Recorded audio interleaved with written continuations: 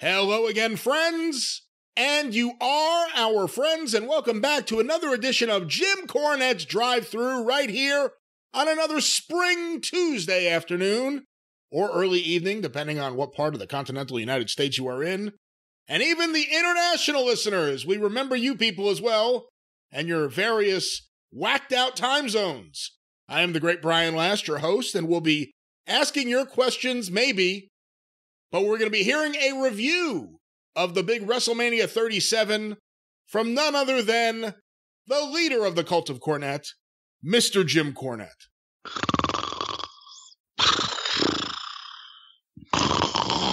This has been your WrestleMania review for 2021. Oh, wait. Uh, I'm sorry. Brian, you remember sleep? You remember what sleep was like? I've heard about that. I was getting, I was just commenting last month on how I hadn't slept so good as the last year when I've been home in my own bed with my own pillow or pillar, as Aunt Lola would say. And and and uh, suddenly I can't remember what sleep is like. Not only am I am I dealing with the action figure onslaught, we'll talk about that in a minute. Not only am I uh, glad to report, and we'll talk about that in a minute. Stacy's feeling better after her surgery. Still, obviously, I'm carrying a lot of things over 10 pounds. Uh, but you also instructed me to watch for the edification, education, enlightenment, and interest of our listeners what passes for Wrestle WrestleMania these days. WrestleRania. The rain delay was the better better part of the show. I no, I shouldn't say that because after seeing Sunday, I have a newfound appreciation for Saturday. You know, I came out of Saturday with such a good spirit about things. I was just like, wow, you know, not exactly how I would do things, but this was all right. WWE really does a big show like no one else. And I feel good about things. And then Sunday Things could turn out all right. And then Sunday they immediately dragged me back to WWE. right back to Greenwich to show me what's going on in that twisted old mind. But Saturday I thought was a very uplifting. Wait a minute. Okay. Rocky Ramone, uh, Nate, uh, uh, my God, who our our uh, uh, talented listeners and talented Einar out there? Einar. Well, maybe not Einar. I don't know if Einar needs to tackle this one, but Lior. or, or, or no, I was thinking of Lior. Einar might can do it, but Lior might want to stay away from this one. But you're a mean one, Mr. Greenwich. You've got crabgrass in your soul. Oh boy. Yeah, well, anyway, but this is your show, and who far be it from me. Now, just to let everybody know, uh, another. This is we're recording this on Monday at at almost high noon, and this morning another 200 action figures were shipped out to go along with the nearly 200 that shipped out on Friday. And I'm trying to keep that pace, whereas there's going to be another couple of hundred, maybe 150 because I'm doing this to please everybody else. I'm doing recording this today. So maybe 150 on Wednesday morning, but it's it's it's happening. And by the time that uh, uh, you you folks hear this also um, you may have seen a picture of we took another picture of the boxes of action figures stacked up ready to go to the post office and it it it I don't know what I've gotten myself into. But anyway, I appreciate everybody's patience. As we mentioned on the uh, experience, I'm doing the people that ordered the two packs first because that gets me some more space in the garage and it's quick to put sign two and put two in these boxes. That I'm headed toward single uh, action figures of either the original or the variant. Then we're then some of you fine and dedicated people out there bought the action figures and other stuff as well at the same time, and those are going to be a little bit more time consuming. We're going to try to be getting to those by middle of next week. And then there's those internationals. Those people require extra love at the counter, along with a lot of extra time. And so bear with us on that. But anyway, uh, yeah, so what is that? It makes about around 400 action figures out so far out of 1970 something. So we're, we're making progress. And in the middle of that, thank uh, thank again to thanks again to everybody who's wished Stace well after her surgery, and she's feeling better now. Uh, it's easier to get up and around. That's this is the point where it becomes dangerous because now she thinks she can start overdoing things possibly. But uh, but she's feeling better. But I'm still, as I mentioned, lifting everything that that around the house over ten pounds. Um, and what else is going on in my life? I need to keep people apprised of.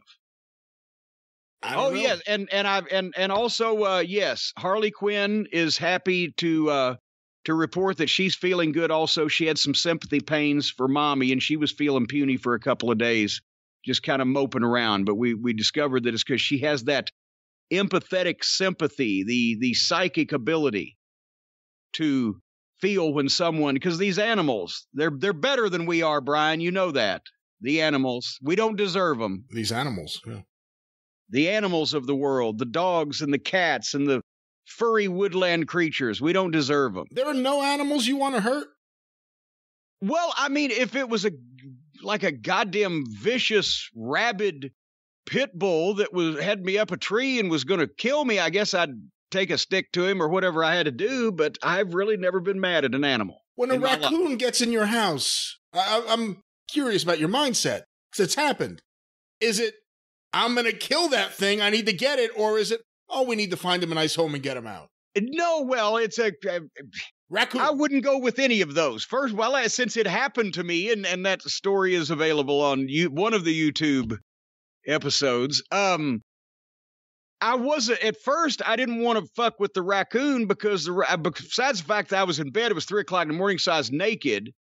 I, I got some clothes once I realized that I was sharing the ho- the house with the raccoon, but I my shoes were on the other side of the raccoon, so barefoot, three o'clock in the morning.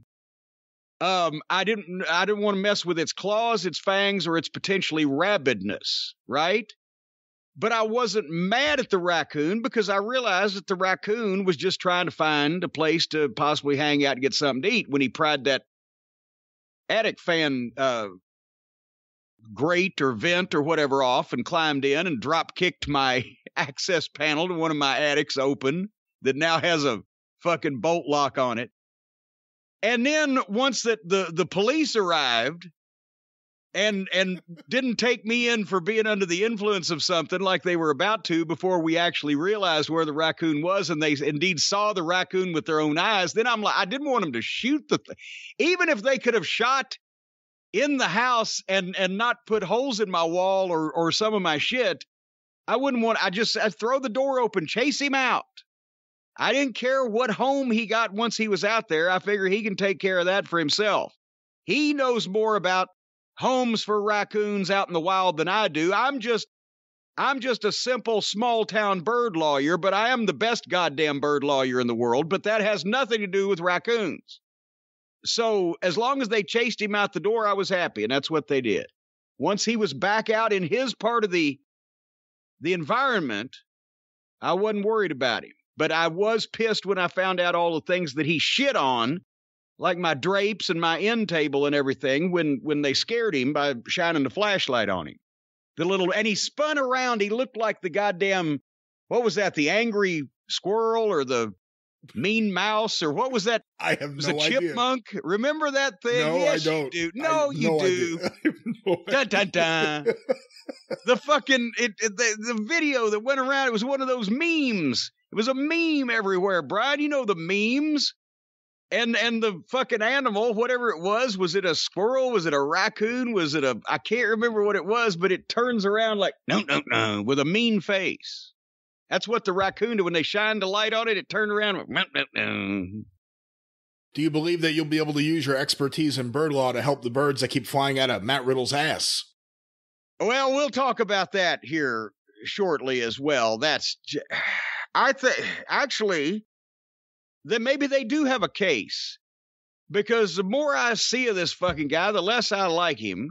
And I'm thinking that it may be some type of cruelty to animals to, to whoever is shoving those birds up his ass also might have a case because not only are the birds being mistreated by being shoved up Riddle's ass for the entrance, but also unless Riddle's doing it himself, and I would think that'd be hard to reach and get that accomplished back there. They probably got maybe it's the guy that won the world's Mars bars ass stuffing contest that they've hired since he's a specialist in this endeavor, to shove those birds up Riddle's ass.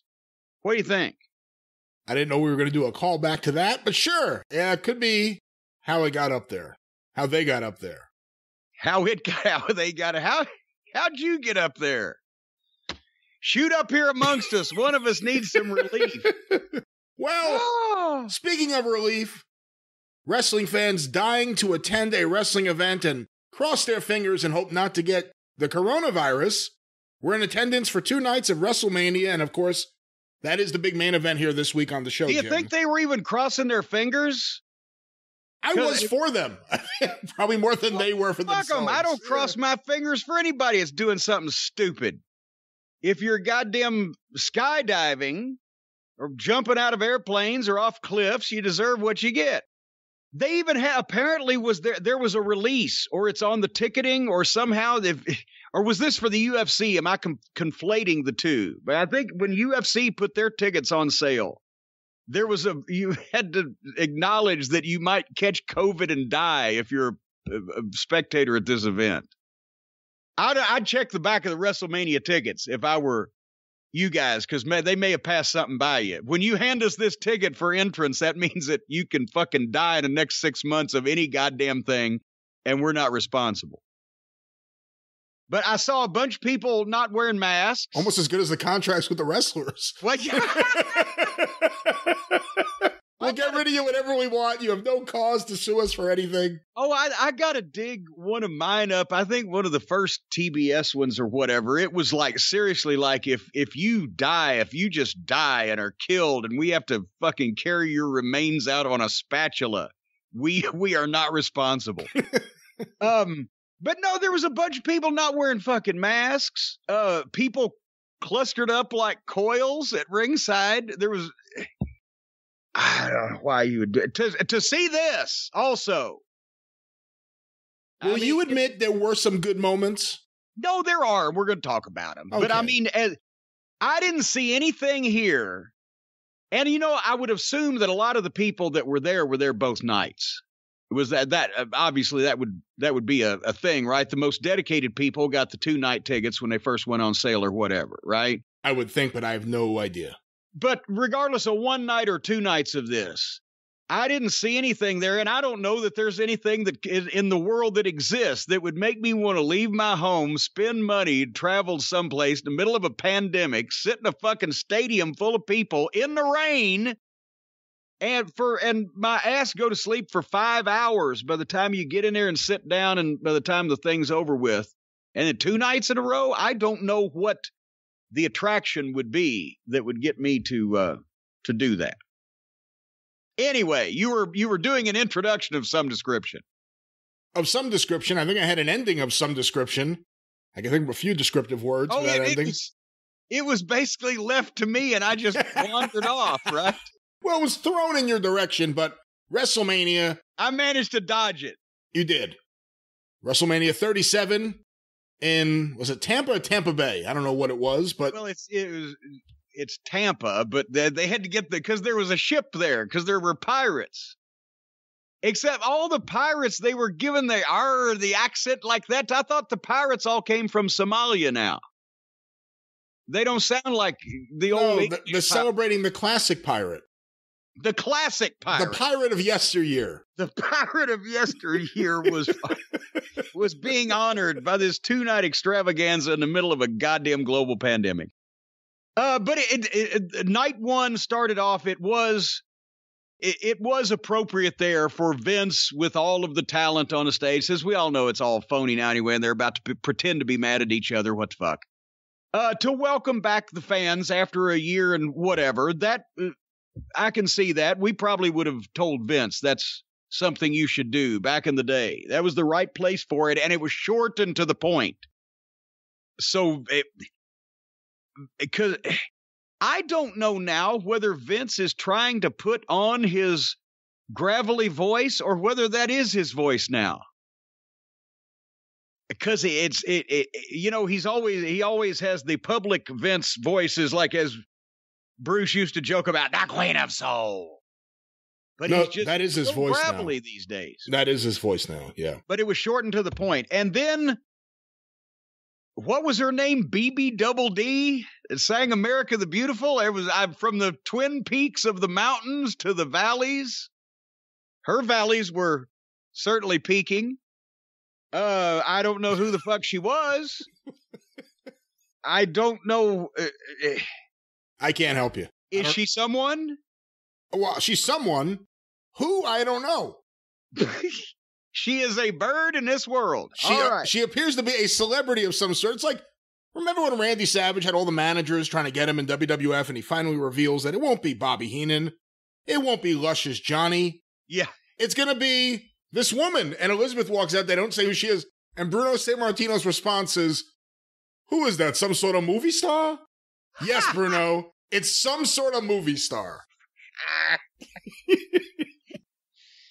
ah, and then Bruno followed it up with, and she's standing next to a box like structure. uh, anyway, um, and now with the Stewie Griffin compliment, we're just going to be silly today, folks, because I haven't had a lot of sleep and I've had a lot of shit on my mind, and watching this stuff just sent me over the edge. But um, we'll start with the Stewie Griffin compliment sandwich, the the WrestleMania cold open, state of the art as always. This is network television. This is NFL films kind of stuff. The graphics they do, the editing the shots that they get to build these things, the voiceover, the the the voiceover writing, the voiceover talents. This was tongue in cheek, but it was it wasn't done silly like amateur kids on a cable access show. It was fucking halfway entertaining and didn't make the business look any particularly more silly than they usually make it look. Um this studio knows what they're doing and then they revamped it for night two, overnight, they had edited in highlights of night one in places that it made sense to do so. And so they didn't, even though they reused the body of the the cold open, they still altered it for the for the next night showing. But I mean, just the the money they spend, the equipment they've got, and the people that they have that operate this shit. Uh, it, it not, have, having nothing to do with wrestling. I'm just from, from my interest in and experience in the television business, I just marvel at some of the things they can put together. If this was about, you know, fucking Roland Martin's fishing show, it's just such quality. What'd you think? How would I Rowan and Martin's fishing show? That might oh, be funny. I no Roland Martin. You I'm Roland thinking of a Martin's funny take of it. Show. Laughing on the water. I think it could be great. All right. Of course, they had to shoehorn the word entertainment in as much as they possibly could in this Yes, thing. Anyway, we came into the rain delay and they were all. Uh, you can tell the announcers' assholes were puckering because they're like, ah, shit, we don't know what to do. Um, and they let the guys have interviews. And since they had no time to prepare the interviews, nobody wrote anything. They didn't even know they were going to do this till moments before they went on the air, from what I understand. So they just like in the old days, you know, when when I would be, I usually stood at TBS. I don't know if I've told you this or not, uh, but I would usually stand near the control room, but not in it at TBS at the at the tapings because I like to. There was a little outside anteroom there where the the fucking A2, the audio guy, he didn't give a fuck whether you're standing there or not. But I didn't actually go in the control room unless Dusty called me in. That's where Dusty was behind the table and the director and and all the important shit went on. But I always stood there two reasons. One because I liked three reasons. I liked to see how the television operated. I liked to hear Dusty saying positive or negative things and what he said them about so I'd know or to what to do and not to do. And three, because every time the last segment ended early, he would look at JJ, who'd probably be standing over with him, get so and so a such and such, or get somebody and go out there. And that's several times on the closing two minutes of the show, you'd get a fucking bonus interview, even if you'd already been out there. He'd say, Cornette, go kill two minutes. That's when I ended up in the podium with Ronnie Garvin choking me. That fucking clip we've talked about. That was one of those. We got two minutes. Go out and fucking do this. Right. So anyway, that's when you you get some of your best stuff. But it was a mixed bag here because some of these people have never been put in a position to go out and actually say something on television that they weren't told to and uh, drilled over and over again, right? So it separated the uh, the people who need material from the people who don't. And I was surprised because MVP was not one of the people that, that just tore the fucking house down. I expected a scorcher and I got a sunburn. He it was like he spoke well with what he said, but he didn't really say anything. He didn't build anything. It was like he just was a lot of them were just killing the time. Um Bobby Lashley at one point looked confused, like somebody was trying to tell him something off screen, and he's looking at that face, and then he gets the mean face. I think they're probably telling him to get a mean face, and it made him look even more confused. But um, McIntyre came in, picked the energy up a little bit. Uh, we we uh, we saw a quick bit of when they got in between him and MVP and Lashley, we we saw Jamie Noble, first time he's been on television in a while that I've seen. Um, and McIntyre, you could tell was the same way. He wandered around verbally because he didn't really know how to build this up and pay it off at the end, but he because he was trying so hard, he worked himself up into a fucking decent emotional promo at the end of it. Is I mean, is that any way to describe it, he kind of talked himself into it. I guess as he so. went along. It was all right. Um, but but they, eh, I mean, even the guys who have little or no idea what to say when nobody has told them what to say sound more natural saying nothing. Like here, like uh, Kofi and Xavier, they didn't say anything, but they had a little oomph saying it. But then what? I don't know. Big E or Titus O'Neil, which one I was going to bet on to have a stroke or a fucking hernia cutting a promo over this weekend. He came in and was over the top to the point where I was afraid he was going to have a fucking aneurysm. Um, and if you noticed that about, well, we'll talk about old Titus in a minute here on the first night, but Strowman came in and he's trying to make up and tell the the bullied and, and cold, stupid backstory that they've told, but he had no idea how to build, deliver, and pay off a promo that tells a story. So he would just blurt out some declarative statements and and with a big exclamation point on the end of it, and then the girl interviewer would say, Well, we're we're not actually done yet. So she'd ask him another question, he'd do the same thing. Staccato, boom, boom, boom, and I'm gonna kill him you uh, know, or not. And then she'd have to say something else to him. So he just was, I get, he's probably never been in that position before, I would think. And then guess who saves the day? And knocks it out of the park and cuts a fucking wrestling promo and tells a fucking story. Imagine this. It's, it was no surprise to me as soon as I saw his lovely chubby cheeks. Kevin Steen, Kevin Owens, and probably with five minutes notice of hey you're gonna have to kill some time he gets it because that's his major talent talking promos that sound like he is really talking. I you know and uh, whether he goes crazy with the uh the indie wrestling sometimes with the furniture and the fucking home depot supply truck or whatever but that's his thing that he can talk. And he would would you say that's one of the better promos I've heard him do on their television because that's the only time it's actually been him talking. I thought it was really good.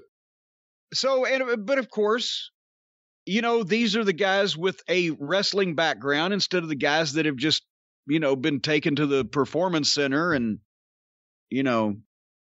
Anyway, uh Bianca Belair went 100 miles an hour didn't say much, but at the same time didn't stumble over what she was saying, and and it wasn't bad. I was surprised. Was Seth okay? You might get this. Was Seth Rollins at one point when he came in trying to halfway channel handsome Jimmy Valiant? I don't know what he was doing. What was he doing? It was kind of bizarre. He was very jovial and I didn't expect he was. Is he not the Monday Night Messiah anymore? Is that gone? I hope it is. And I and I, well, didn't he switch? He switched nights. So now they're on. Isn't he on SmackDown? Would he be the the Friday night fuckwit instead of so. so maybe he had to get out of that completely? But no, but actually, I wrote, has he been promoing like this, or is this just what he wants to do and they won't let him? Because it gave him some. Remember, we were saying his Monday Night Messiah promos are just drone on and just monoton, monotonistic delivery, to coin a phrase. And in here, he's got personality. And he's, he's, I, well, I was listening to him for once instead of it, him sounding like somebody just woke up out of a fucking soma coma. Um, Miz and Morrison kind of did the same thing. I've always liked Morrison. I don't know what Johnny Drip Drip is.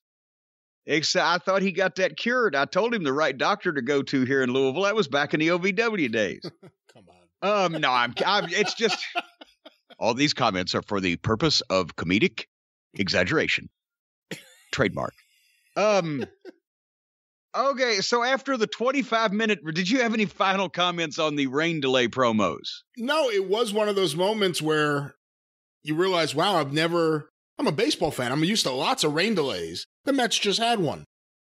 But I've never had one during wrestling. It was the first one I've ever experienced from home watching on TV. I can't remember another one like this. You didn't know when it was going to end, so it was interesting to see what they were going to throw out there. And I think, although not perfect, that the segment really boosts the argument of everyone that thinks that there should be more promos that aren't completely scripted because it was more interesting. Seth Rollins, that was the problem. He was coming out there reading someone else's words with the Monday Night Messiah thing beyond his screechy voice, which I don't know how much I could listen to that.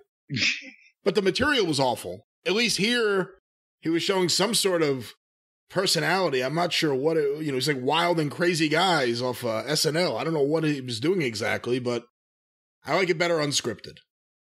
Uh, and as far as rain delays, that's why traditionally, until it became a thing for WrestleMania that had to be, that uh, you didn't really want to do a big show outdoors. Um, of course, I mean, probably the only city that I can think of in the country that had regular outdoor wrestling, pro wrestling on a major league basis for years and years and years, and it was a habit was Knoxville.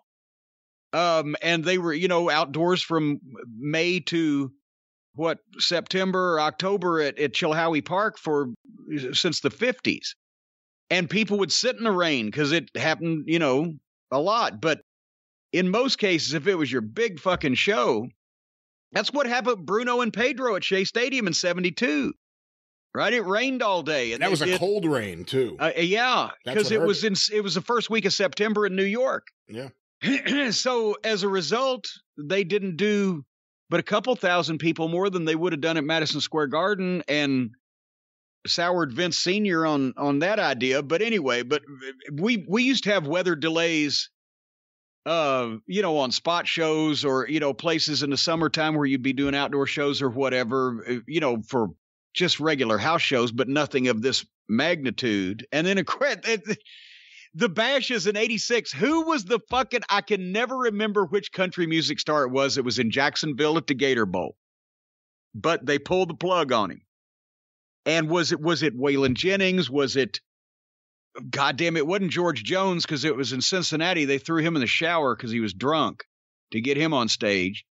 But who, whatever country music star was at playing at the 86 Jacksonville, Florida uh, Great American Bash, the rain was coming and you could see the clouds and they had forecast. And back in those days, if you got the main event on, you didn't have to give money, the money back, right? So what their plan was was depending on what the happened with the rain, they were going to get two preliminary matches on and then put the main event in and then see what the fuck happened. And I think they got more than that, but the country music guest was playing and and was still playing and still playing and they're really wanting to ring that fucking bell and finally they went back and the phrase pull the plug they literally pulled the power to all of his shit so he was still playing but then all of a sudden you couldn't hear it and that was a way to get him off the stage. Uh, anyway, rain delays. Nevertheless, speaking of delays, we were delayed further from seeing anything interesting by the entrances of the WrestleMania guest hosts, Titus O'Neil and Hulk Hogan. Now, I don't know. I mean, you know, I've got bad hearing, Brian, and and of course, I'm I'm I'm watching on the TV in the bedroom. It doesn't have the surround sound like in the TV room, but it didn't look or sound like Hulk Hogan got a hero's welcome in front of this particular crowd. I don't know. I thought he actually got a pretty good welcome night one. Maybe I, you know, wasn't paying the closest of attention to the pops. Uh, well, I mean, you know, seemed. I mean, they definitely showed a lot of people in the crowd with signs and Hulkamania T-shirts, which but the older you get, the more ridiculous you look in one of those. Yeah, yeah, that's true. But anyway. I, I, it, it, it sounded to me as uh, night two. I noticed it more, but it sounded to me maybe on the on the entrance. You know, it's Hulk Hogan. We're going to cheer, but every time that Hogan would speak, you heard ooh, and every time Titus O'Neil would speak before he would ever even make a point that anybody would cheer for, just when his voice came out, there were cheers. And I think there maybe there was some jolly jokers in the audience. They were trying to just do the yay boo thing. Every time Hogan speaks, we're gonna fucking boo in the opposite. But this is where I was surprised O'Neil didn't shit his pants. He was going so over the top trying to hype people up. And I know was that because of the rain delay? They thought, oh, these people are gonna be pissed or whatever. Um Hey, real, then, oh, yes. Sorry, I was gonna say Waylon Jennings, 1986 okay. Jacksonville. Yeah, that's who it was. Thank you very much. And old Waylon, old Waylon was Waylon when they pulled the plug on his amplifier. Uh, but anyway, um, by the time that O'Neil pitched to the title match, I thought he was going to try to have a stroke, and then Hogan started uh, trying to go over the top because he was, and it looked like Hogan might pop something. And I just, I didn't know why they were just out there screaming. Le- I'm Robin Leach on Lifestyles of the Rich and Famous. I'm screaming and I don't know why. I but anyway, I, I don't know why these people were needed to do whatever it is they did for these these shows. There's no purpose at all to the host of WrestleMania. You get really bad WWE comedy or names being yelled out for several minutes. It's pointless. Anyway, so they start the show on night one of WrestleMania with what allegedly should have been the main event because it was promoted as the main event because it was promoted as the one of the world champion uh, match for one of the world championships and we get Drew McIntyre Bobby Lashley straight off the bat. I um I like both these guys. As we've talked about, I think that Lashley looks better than he ever has. He's got he's kept his body, his conditioning, but he's gotten more experience, so his work is better. Um, you know, as a matter of fact, since he was an old OVW guy, I will throw in a bit of coaching if he happens to be listening. Probably not, but Bobby, when the guy's got the fucking headlock on you, step into your shoot off more and throw the guy off, especially guys big as Drew McIntyre. Um, but they had uh, uh, McIntyre. I've been a fan of, except I can't figure out why they keep giving him the title and then beating him for the title. When they were last year, they were supposed to. He was the guy that was going to conquer Brock Lesnar and be the new guy, and he's been beat what half a dozen times since then. Anyway, uh, they had a good pace at the start, and they were going for a big man match. I'm not crazy about anybody going to the floor so early, but that's a minor uh, offense uh, in, in, these days. Um, I like the way that Bobby got heat on McIntyre and, and roughed him up, and then I like the way they did this, this hope spot. Remember when Lashley charged and McIntyre moved, and Lashley went shoulder into the post, and McIntyre went for the armbar, but he couldn't quite get it, and Lashley rolled through and got back on him that was a well done hope spot because somebody else, when Lashley hit the post, some other babyface or whoever produced this match, if it was some other producer, if McIntyre had turned around and pickled him, boom, boom, boom, hit him a time or two or d- gave him a bump or done something else and then gone for the armbar, it would have broken up the heat because it would be making uh, at least a false comeback. But and the people would have said, okay, now Drew's back on offense, and if you stop him down again, well, but this way it was seamless. When Lashley hit the buckle, McIntyre goes for the armbar out of the cell, but can't get it before Lashley, still the fresher guy, gets back on top of him. It's a hope spot that McIntyre almost had him, ah, but ooh, they took it away. And immediately Michael Cole says he gets him with the pound and ground. Did you hear that? Yeah, he's made that mistake many times in the past. He sucks. How can you make that Michael mistake Cole more sucks. than once? But how can you make that mistake more than once? Because he's not very good. He's not there because of his tell him. skills. You think nobody's told him and made fun of it before if he's done it before? I'm sure they have. He can't get it. The pound and ground sounds like a fucking burger place that does kids parties. It, it- anyway, uh, so finally, um, McIntyre makes it. Well, not finally, but McIntyre makes a comeback. Then he bumped Lashley a couple of times, did the big nip up. The people were with him. There were there were a few awkward spots in here, but it wasn't Flair and Steamboat for fluidity, but it was physical. It was two guys uh, keeping it interesting and being physical. Um, the camera cutting constantly was hurting my head and giving me an eye ache. I It's mean, so just like. I, It's the worst thing about. I don't even know how you can ready four, take four, ready six, take six, ready eight, take eight. How can you say those words as quickly as that camera is fucking? Anyway, um, there was the spot that Lashley blocked a superplex and hung McIntyre upside down, but McIntyre reached up and pitched Lashley off, and then a big choke slam and uh, Lashley milked it. McIntyre nipped up again. Uh, they had good action. They a rotten one-two exchange. Uh, they're some of the many guys these days that can't get in the fucking gear to throw punches, especially on a one-two. Uh, but then McIntyre, big comeback, three DDTs, uh, and with the in a row like the three amigos, with the last one being a one-two, just almost. That was a good false finish. Um, why would Drew McIntyre? I couldn't figure out the dive. Because Drew McIntyre doesn't need to do a dive. God damn it. We just said this about Tommaso Ciampa. He didn't do a moonsault on Walter just because Walter's big enough to catch him because Tommaso Ciampa wouldn't do a fucking moonsault.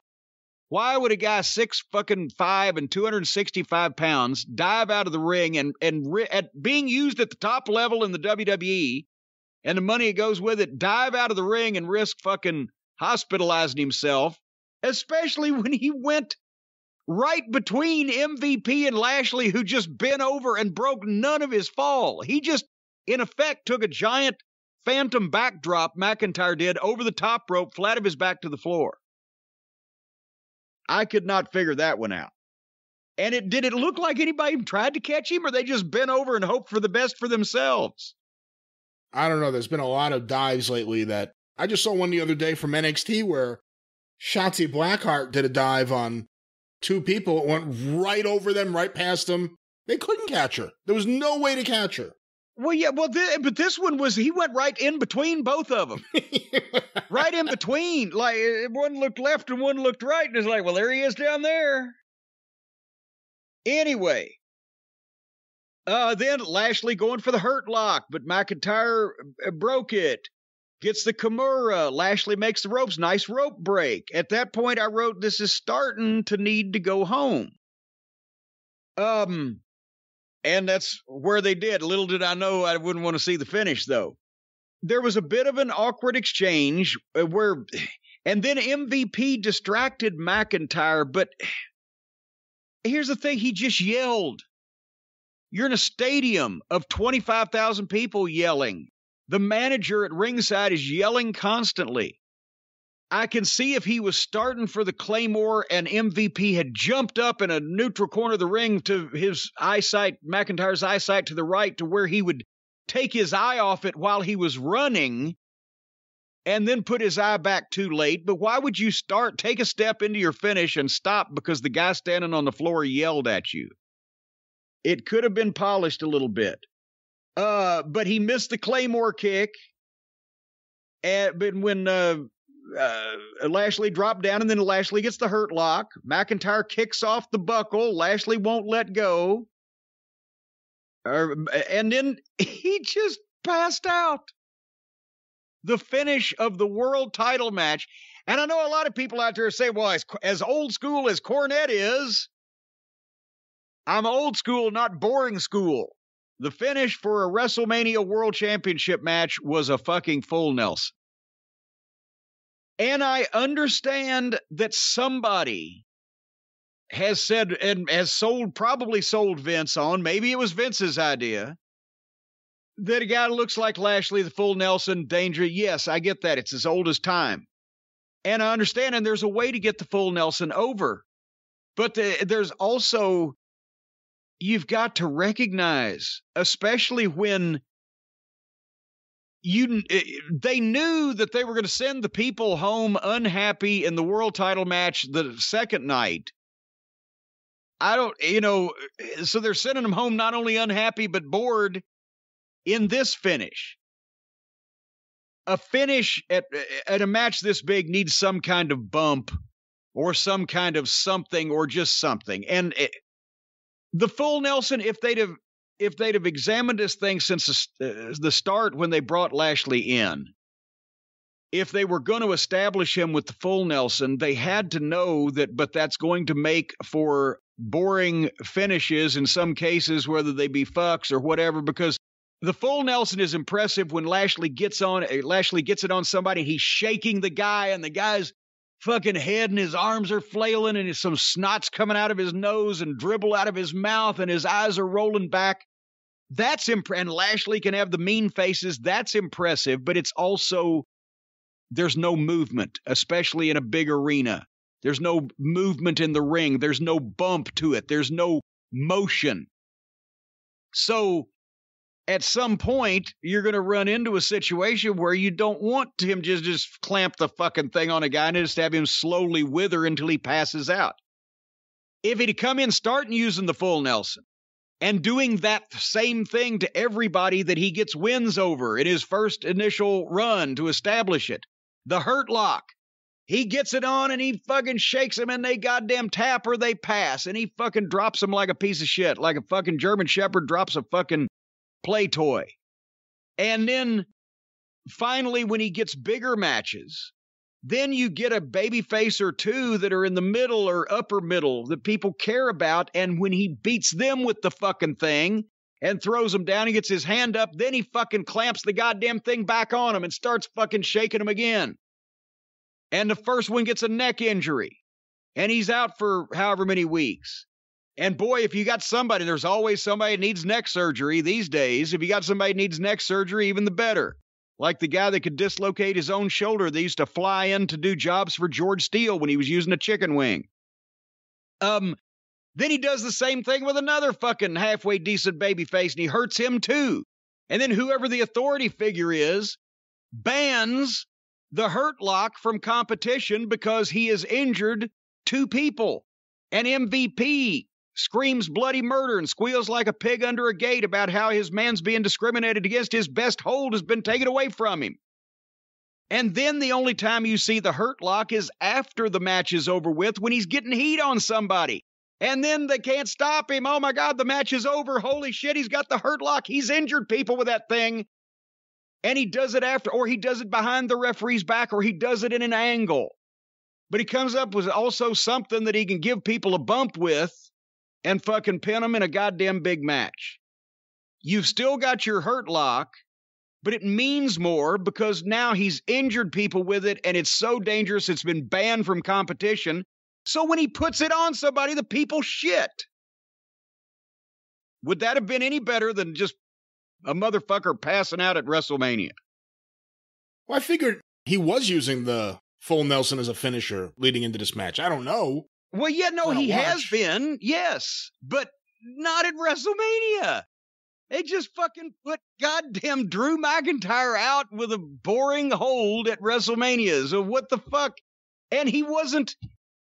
He if if somebody had given goddamn Drew McIntyre a pile driver before the hurt lock, then oh my god, he's bad neck and he's passed out. But he's fucking he's Drew McIntyre and he's he's been beaten for the title at least once since last year in a challenging position again, and then gets beat with a fucking full Nelson. The full Nelson didn't bother me because look at Lashley. You know, he looks like he'll kill you. Well, yes. What bothered me more, like you said, was the MVP. I hate to even call it interference. It wasn't interference. It Distraction. Just, woohoo, bird over here. I don't know what he did. then all of a sudden in the middle, he just turns around and gets distracted. One of Riddle's stray birds was flying around. I didn't like that. Overall, I thought it was pretty good, not perfect. I was surprised by the finish. I didn't think Lashley was going to come out of WrestleMania still the champion. I have to think most people probably didn't. And I feel bad for Shelton and Cedric, who didn't get a WrestleMania payday because Vince decided to kill that the week before WrestleMania. Uh, and both of the world championship matches ended with the heel going over at WrestleMania. What does that tell you about Vince's mindset? You being someone that's worked with him. Tells me he's changed it. Uh, he was the, the king of sending the people home happy in the at the big show. And even if they even if every baby face just didn't go over flat, especially during the Hogan era, but usually he wanted even if the heel had gone over, there was some hope afterwards, right? It was just it was a uh, but but they don't care anymore because they don't have to. They're going to sell out the stadium for WrestleMania automatically, and now after people haven't been able to attend live shit, they're even going to be able to sell it out even more automatically. Next year in Texas, full of Republican lunatics that won't wear masks and they'll sell every seat. Um, but it, it, they don't have to sell pay per view anymore so if if Vince wants to tell the story that these heels are going to go over, then what the fuck? The the audience that they're going to get is kind of baked into the cake. They don't have to uh, live. They don't have to sell pay per view. They're probably not going to do live events again for who knows how long. You know, it's interesting as you're saying this. It hits me that the deal with Peacock is akin to a WCW wrestler getting a guaranteed contract. Yes, I could do whatever I want now. I'm getting paid no matter what. Well, yeah, I mean that's been uh, that's uh, pretty obvious. They don't have to sell pay-per-views. They ain't going to even try to sell tickets except to the pay-per-views, which will sell anyway cuz there's so few of, you know, events that people can actually now go to. Uh they don't have to re- uh, they don't have to have ratings week to week. They have to have ratings over time. That will become a problem eventually with a network they're on guarantees. And so they're, you know, they're going to start getting hangnails, not want to come to work or don't like the creative. So they suddenly remember an elective surgery that they need to have urgently. Just like WCW talent. They're on a guarantee now, baby. You know who's on a guarantee? I'll tell you who's on a guarantee. Yeah, who? The people that Paint Your Life they guarantee that if you don't love the fi how'd you like that segue? If you don't love the final painting that they give you, your money will be refunded. That's right. We might as well bring this up now because I'm going to call paintyourlife.com and I'm going to have a portrait painted of WrestleMania the way it used to be when there was a big match in the ring that you had to sell tickets to because it's getting harder and harder to remember those days. But, folks, if you want a truly meaningful gift, a professional hand painted portrait, a quality gift for yourself, your children, your family, whatever, then you go to paintyourlife.com. They can take any picture, any photograph, or a combination of photographs and make professionally hand painted portraits out of them that you can choose from a team of world class artists and work with the details on them and then within a few weeks, you get your hand painted portrait, and it's guaranteed. So you can have generations of your family together. You can put yourself in a cherished place, a special place in your memory. Like for me, it might be hanging off the scaffold. Anyway, it makes a great gift, and you can get 20% off from the fine folks at paintyourlife.com. 20% off and free shipping if you text the word drive, D R I V E, to 64,000. That's drive to 64 with three zeros. Drive to 64,000. The folks at Paint Your Life will fix you up with this quality hand painted portrait, and you can celebrate the moments that matter most. Terms apply. Available at paintyourlife.com slash terms. I was thinking about getting one of me and a bulldozer chasing Michael Cole. what about a wood chipper? Well, I, can't drive a wood chipper. I That's guess you can. true. Well, if It's- it's a big one, you can. But Well, if you get one of the big motorized ones, you can. And then, well, that way you could run him down with the front of it and then throw him in the back of it. see, one, two, three, in and out. All righty. Um, apparently the Hall of Fame folks were there. They they they showed us backstage with Kevin Nash, X Pac, Scott Hall, who now looks to be what 124 years old and having been floating in the river for the past three weeks. Completely snow white gray hair. Well, he's an older guy now. He's he's fucking. He's, is he the same age as me? Maybe is he a year or two older than me? There are plenty of people your age that are full gray hair. I guess they don't have my youthful vim and vigor. Guess not. he looked like he was goddamn just kind of standing around. But anyway, uh, and there was Hogan and there was Titus and there was Bayley. What's the deal with Bayley? She's uh, she's a social climber. She's trying to worm her way in as one of the hosts. Nobody will pay any attention to her. X Pac was the only one that would too sweet her. Um, why are they trying to make Bayley look like a putz now? Is that, did I miss something? I have reason? no idea. No, I have no idea. I mean, she's one of the people that everyone always talks about how talented she is in the ring, and she is. And she's been over, and now she's like some evil Gilda Radner doing like bits backstage where she's delusional and she wants to be the host. And this was bad. What was this? I don't know, and it was all weekend. All Every time you'd see her, she was, and she's like just making stuff up. And she was dressed like a 45 year old fucking PTA president on the second night some kind of pantsuit thing, and I don't know what's. Anyway, Either did the NWO, by the way. They had no idea. they had no idea. They were just like, let's get out of here. Um, and I should I should mention also that right after this was the 18 girl tag team uh fiasco. Turmoil. So Turmoil. huh? Tag team turmoil. Tag team turmoil. Yeah. Well, I wasn't very. I would. I, I had termites. I had to go inspect for termites. I didn't see that. Did I miss anything? Not really. Good. It was an action packed clusterfuck. And the only thing I heard, I didn't see it because I didn't pay much attention, but funny enough, a noted wrestling historian got in touch with me and goes, Tell Jim to watch that match. I'm like, He's not watching that match. There was a nip slip. But I didn't I didn't even see it and I had it on in the background, so I don't know. I wouldn't watch that match if there was full penetration from a Tijuana donkey. How's that? What if it was actually just a man instead of some bestiality thing? I mean, I don't want to watch the bestiality match either. Actually, now I'm about to say, wait a minute. Now, what, what, whose nip was it? Mandy Rose. I don't care. I don't. Anyway, let's move on to Seth Rollins and Cesaro, or what was what was Seth calling him? Saranko or S- or. It, Embrace the Vision has a lot more oomph than the Monday Night Messiah, also. Um, but anyway, I, we knew this was going to be a good match.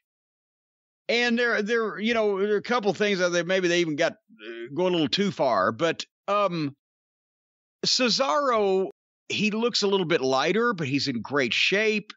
We know he can work. He's strong as a bull. The people love the swing. Thankfully, they finally, you know, gave him some limelight here, some spotlight here. I don't know why it's taken so long.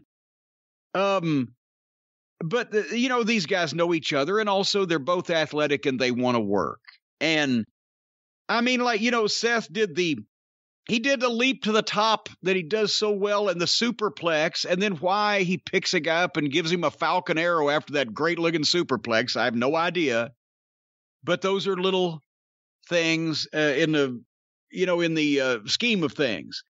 Um, it's one of those things that if he was in Ring of Honor, I'd say keep the first part, don't do the second part, because then you've just killed your first part. Uh, but it, they had a nice match, and Cesaro's got a bad arm for a lot of it, so he can't get the the swing. Even tries to get it at one point, only gets nine revolutions. Uh, those uppercuts are nice. That corkscrew splash that Rollins did, at least he landed it perfectly.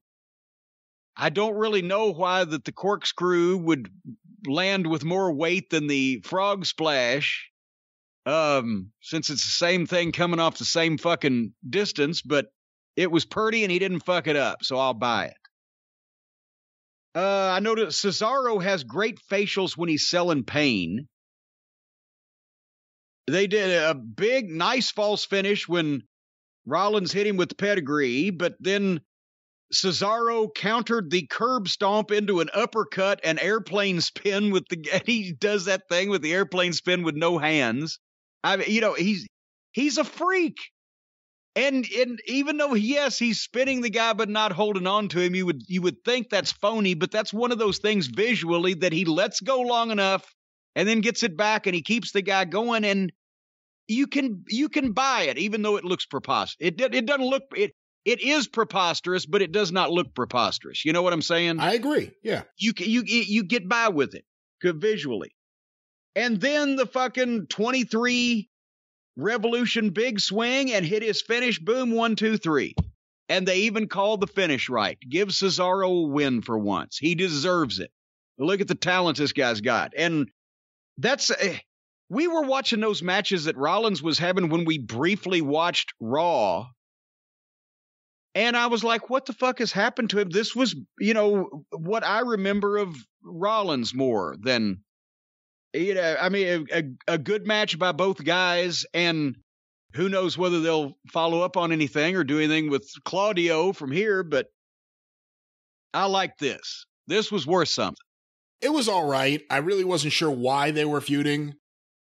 They put up a video, but I just didn't pay too much attention. I had no idea. Well, I, I, I, didn't say it had the goddamn backstory of Funk and Briscoe behind it. Now I'm just talking about the match. It was okay, but to your earlier point about Rollins and our last time watching him, it is interesting that coming out of the Shield, he's the least interesting guy now out of those three guys. Like there has to be something better to do with him. I I I don't know why they uh at least in ring the whole Monday Night Messiah thing was just Death. boring, oh, and they, they paired him with job guys, and it it was like just ineffective, feckless, as they say. I'm surprised you didn't like this match more than than what you're letting all right. on. Yeah, I don't. You know, it's just it's just all right with me, dog. It was it was all little right in terms of dog. In terms of the in ring work, it was all right, but I don't know. There was something not exciting about it. It was just it was just a match, despite there being two really talented in ring guys. It was just a match. Maybe I'm just so excited to see something resembling a wrestling match on one of the wrestling programs. There were there were no uh, pieces of furniture, there was no kendo sticks, there was no outside interference in front of the referee, there was no obvious blatant disregard of the rules. They didn't spend 5 minutes on the fucking floor at the start of the match. Everything you see in every match ever now which is why I like these more when they actually have a match. Just my thought. I get it. Uh, Ziggler and Roode had a promo, and they looked great, and they didn't say anything, but they had some energy doing it. And then we didn't see them again ever. um, and then Big E was back to scream a lung up again, and and Kofi and Woods were uh, together again as the New Day, or together again for the very first time, or whatever. That not together again. They have been a team, but they're together. But Big E was g- imploring them at the start to do well, and then it's New Day for one of the tag team titles against AJ Styles, and I've called him Amos in the past the announcers couldn't figure out whether it was Omas or Omos. Uh, he doesn't have a last name, but God is he big. So I, I that was at the top of the, the notes. I said, okay, let's see if they got something here and if they know what to do with it. And apparently the answer to both, well, the answer to they got something here is yes. The answer do they know what to do with it? They did the right thing here, but only after fucking up the entire rest of the match. Could you believe this? When did AJ Styles become the goddamn manager? I don't know. When did AJ Styles, the former one, one of the world champions, one of the world titles, he held that, did he not? Did I imagine that? Did I dream that? He did, and I just read something recently. I don't even know where it's from, but that AJ had I think he wanted to work with Triple H this year. Triple H is like, no, I need I need more time to be prepared to get ready. And then they stick him in here doing this. Well, that's it's. I'm sorry. I know some people like the New Day. I think all the colored trombones and the unicorn vomit and the screaming and the fucking the whole thing. I, I you know, eh. But they're still middle card baby faces. Nobody can deny that because that's how they're presented in this company and have been for quite some time. Kofi got a little run and they cut him off. And now AJ Styles is working against two middle card baby faces like I would work against the Rock and Roll Express. And they just, and he's dying to tag his giant who they didn't teach Omos how to fucking make it look like he really wants to tag. The guy's got arms 16 feet long and he's, he's just standing there kind of halfway, re- he's short arming as we used to call it. When you'd short arm your partner, it's like you, you didn't really want to get in. He's doing fine. You're making a half ass effort to fucking. I, I will. The only critique I have of Omos is when he steps over the top rope. I'm talking directly to you, Omos, if you're listening out there. When you step over the top rope, do it in the middle of the ring. Don't do it close to the turnbuckle.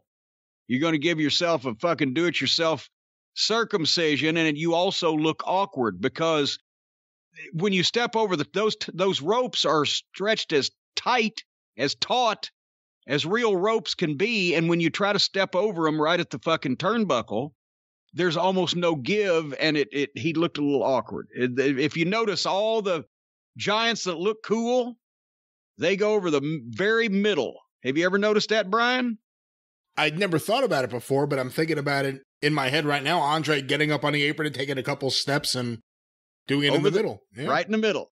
Nash.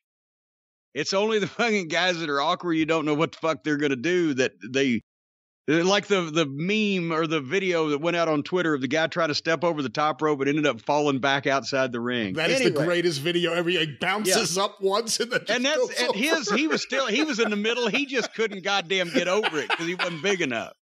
Oh, goddamn. Anyway, so a former world champion and two middle card tag team guys just punking him out. They're, then they taunted the giant.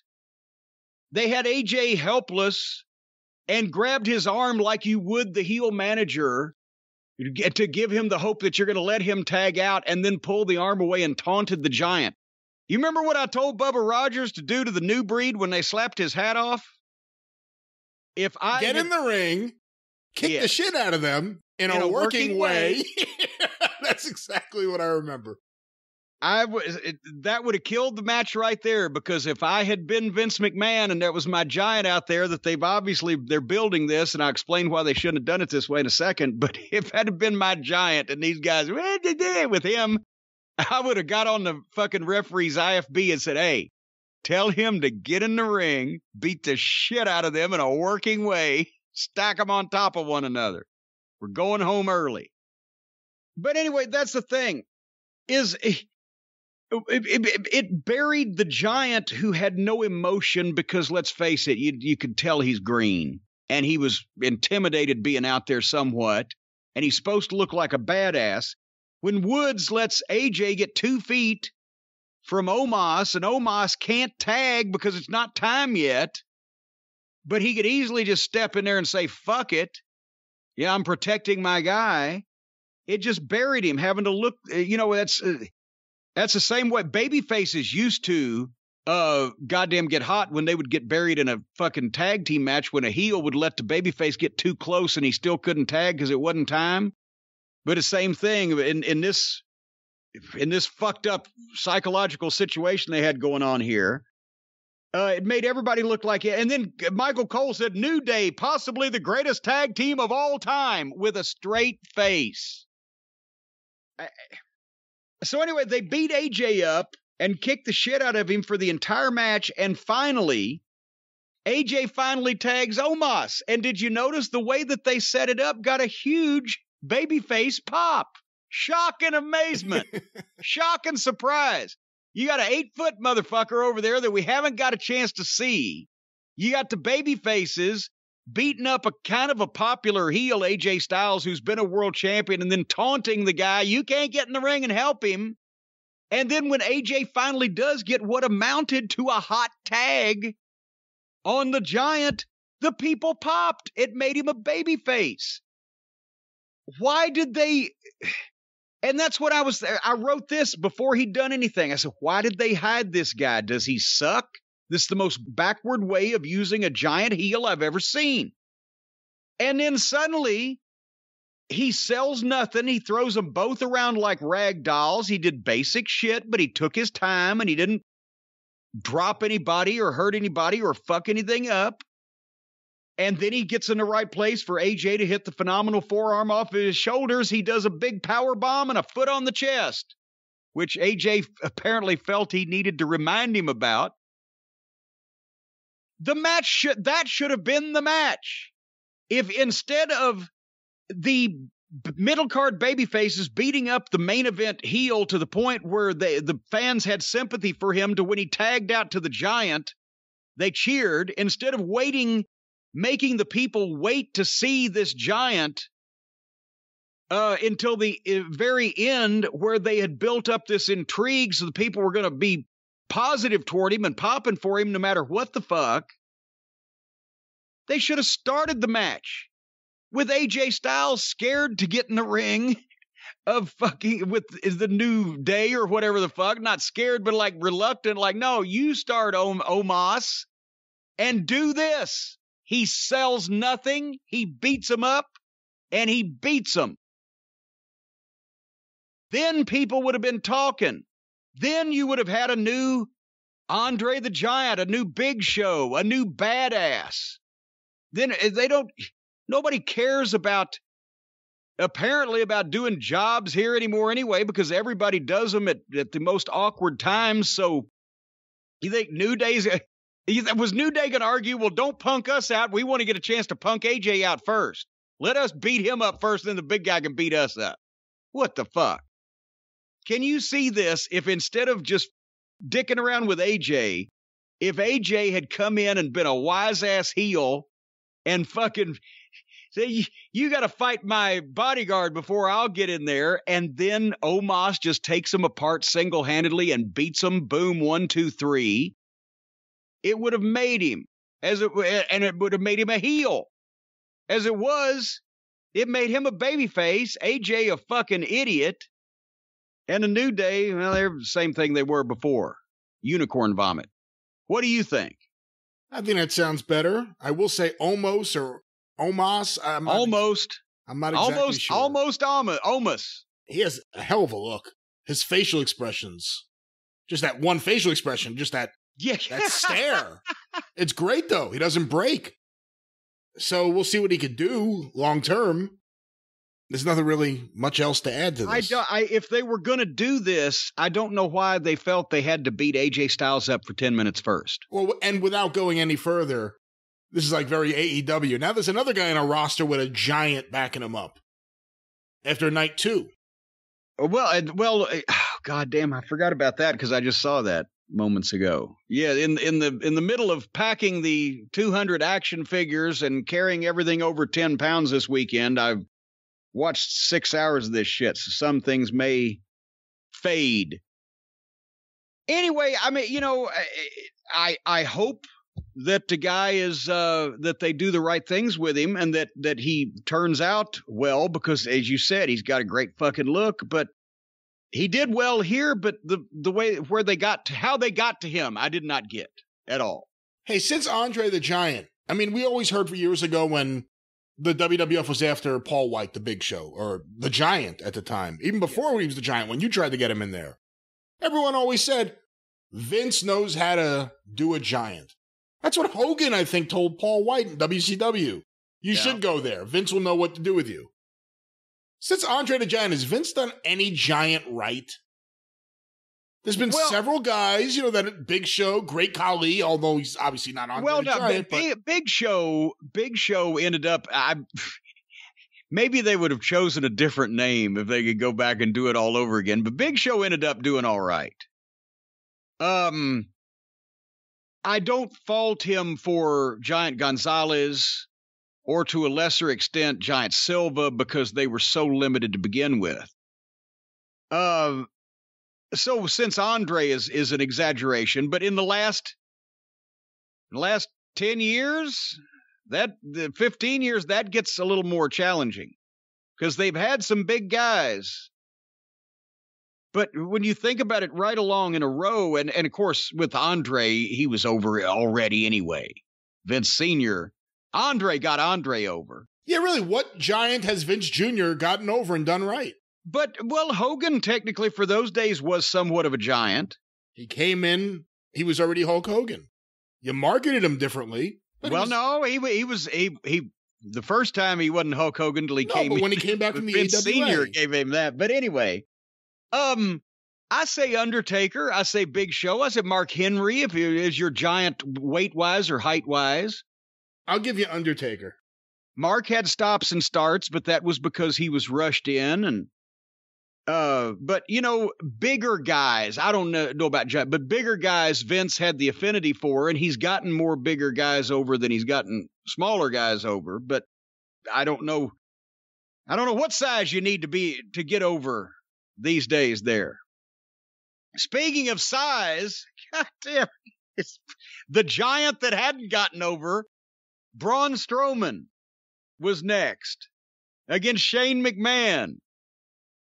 And it, I guess does is Braun Strowman even over to the definition that it is today? I mean, which is a lower bar than it used to be to say, well, so and so is over because they're a big fish in a smaller pond or whatever. Is he even over to the people? Do they give a fuck about him, Braun Strowman?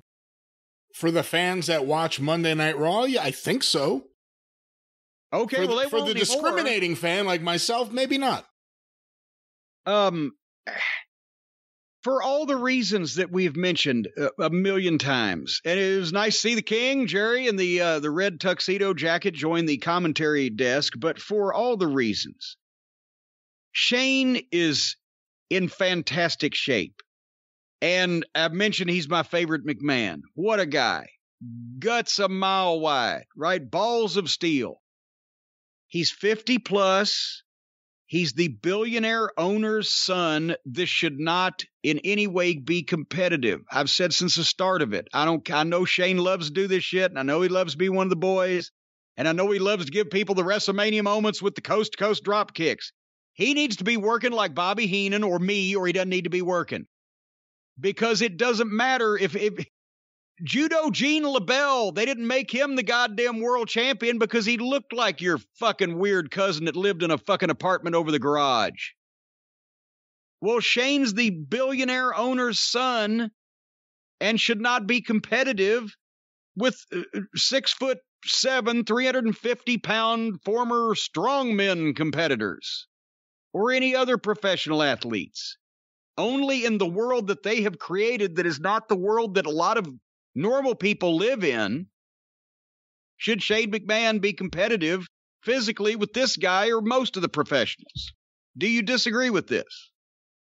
I agree with you, but I think unfortunately it's been done like this for so long that you can't go backwards.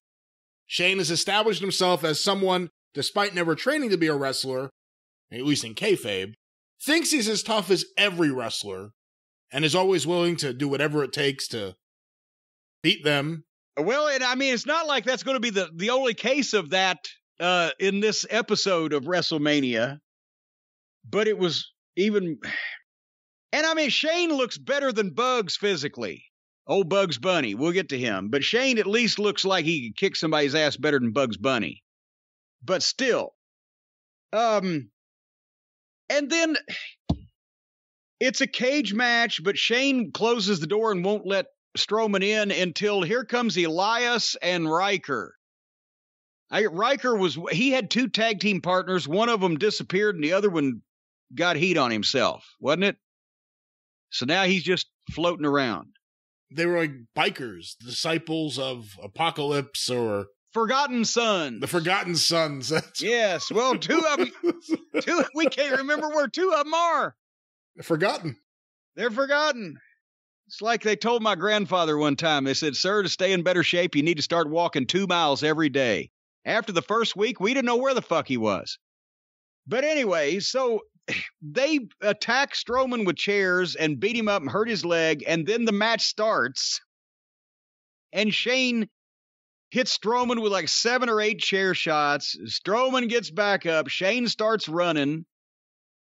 Uh, the body shots and the leg kicks, and Strowman actually selling them. And then he's uh, Shane tries to climb the cage and with I guess with his bionic arm ripped a piece of sheet metal off the top of the cage and began pummeling wearing Braun Strowman out with the sheet metal.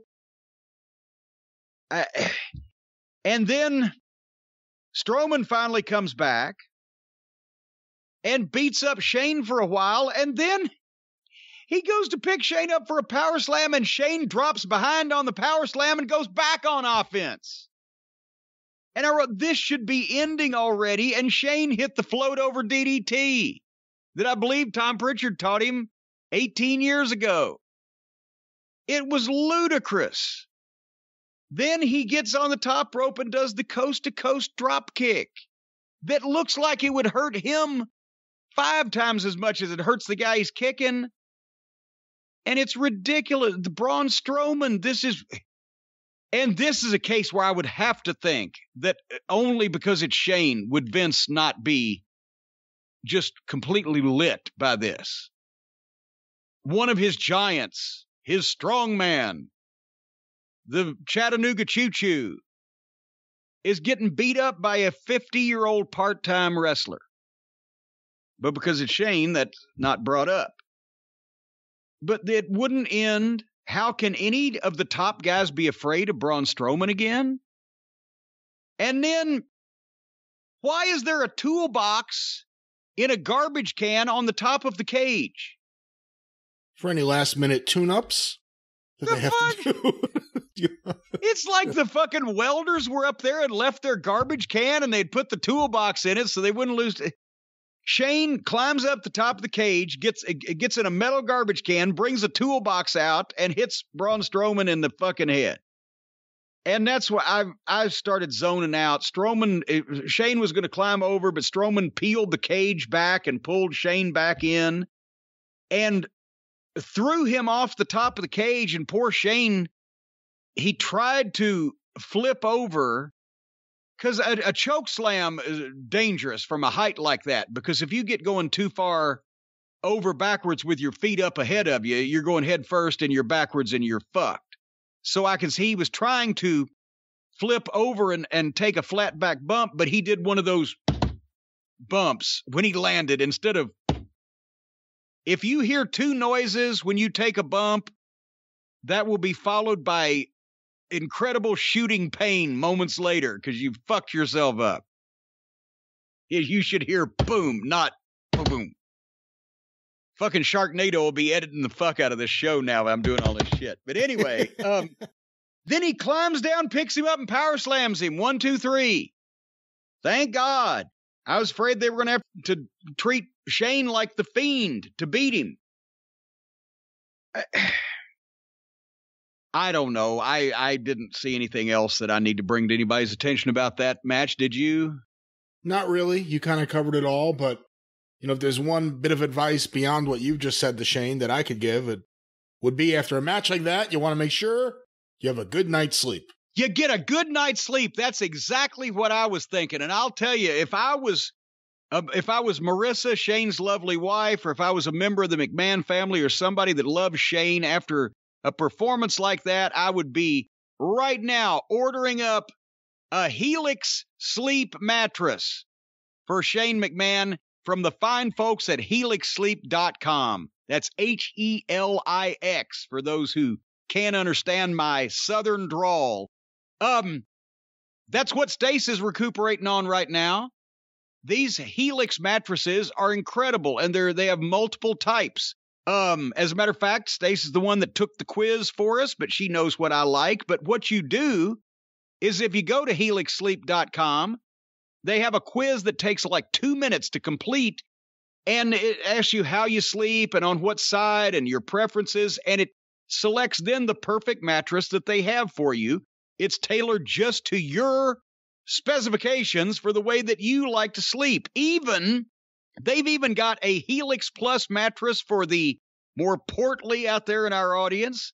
They've got soft, medium, firm. They've got mattresses that cool you down if you sleep hot, or if you, even if you get hot before you go to sleep. Whoa, yeah, these things are great. Whatever the case, even if you've just had back surgery, as I mentioned, you can recuperate on one of these Helix mattresses. They are in all seriousness, I was mad because we got the Helix mattress right after we had bought a brand new mattress for another bed at the at the regular old mattress store. And once I felt this Helix, I said, "Well, we just jacked ourselves and we spent twice as much as we should have, and it could have been delivered to our door."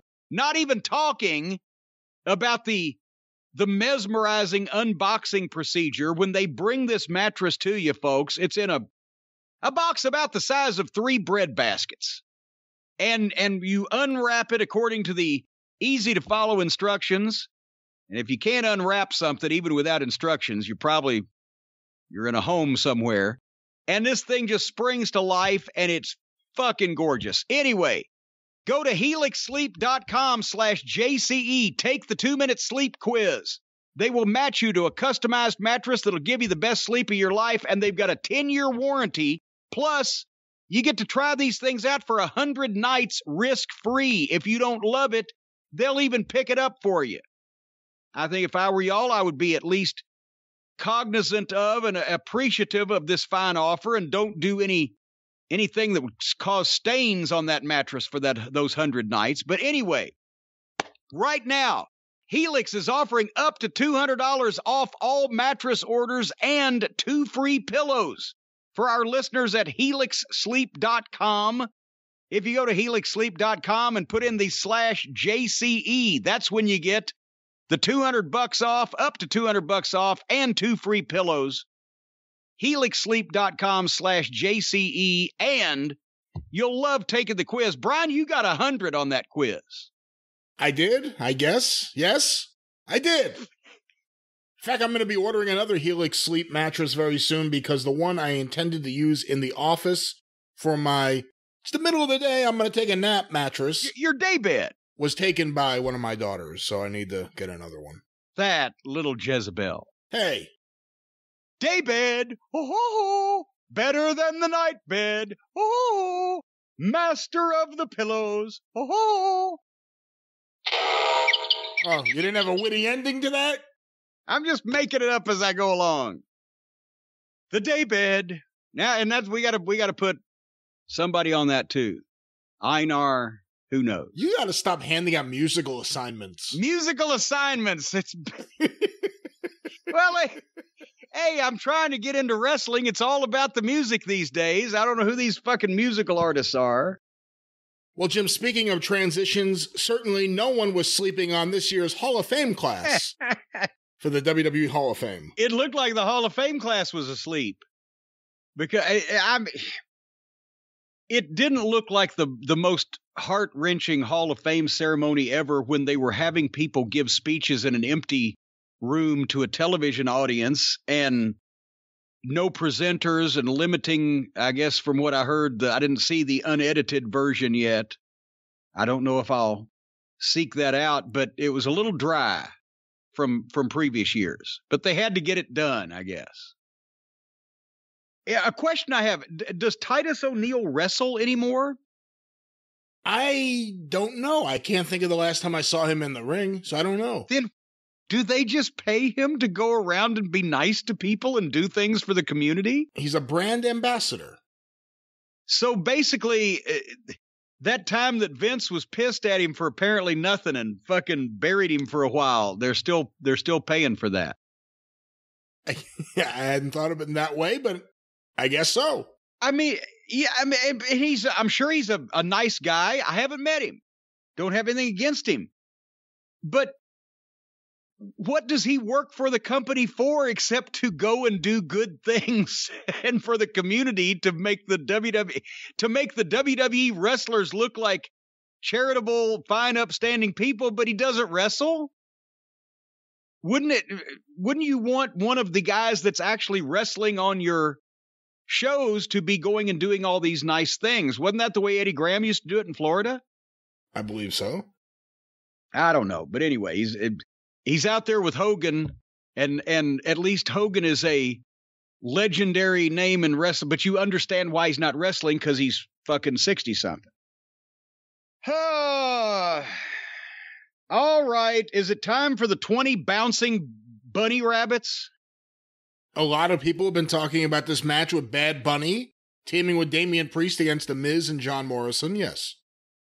Well, I fast forwarded when I saw the bouncing bunnies through all of the entrance caca, and I saved apparently about 15 minutes. But what I saw was Bugs came in on an 18 wheeler.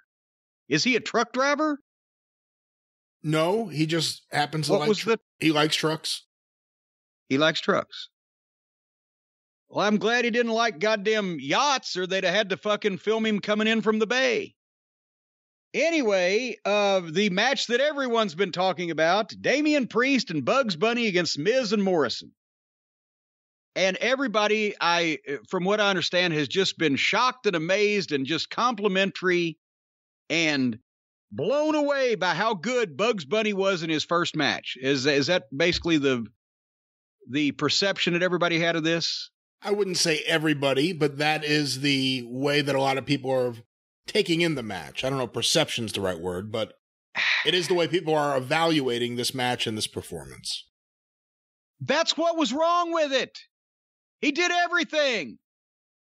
Explain to me why it makes any sense in the world to present a fucking 145 pound rapper in his first professional wrestling match that would go along with the first professional sport he's ever participated in and he's as competitive with the wrestlers and or as able to do these fucking moves as they are. Explain to me why that that makes any sense at all or just makes wrestling look easy like any schlub that wants to go to a wrestling training center can do it. Which is what they all these schlubs going to these wrestling training centers already think how does this, how is it? I even saw, and I like Mike Bennett, but I saw on Twitter the couple minutes I got the chance to look at Twitter. He said, well, it, at least it's different when somebody takes the business, you know, respectfully and responsibly and seriously and, and applies himself And well, that may mean that Bugs Bunny's a nice guy, but that means that whoever let him do this shit just because he's a celebrity is a complete fucking idiot. A complete fucking idiot.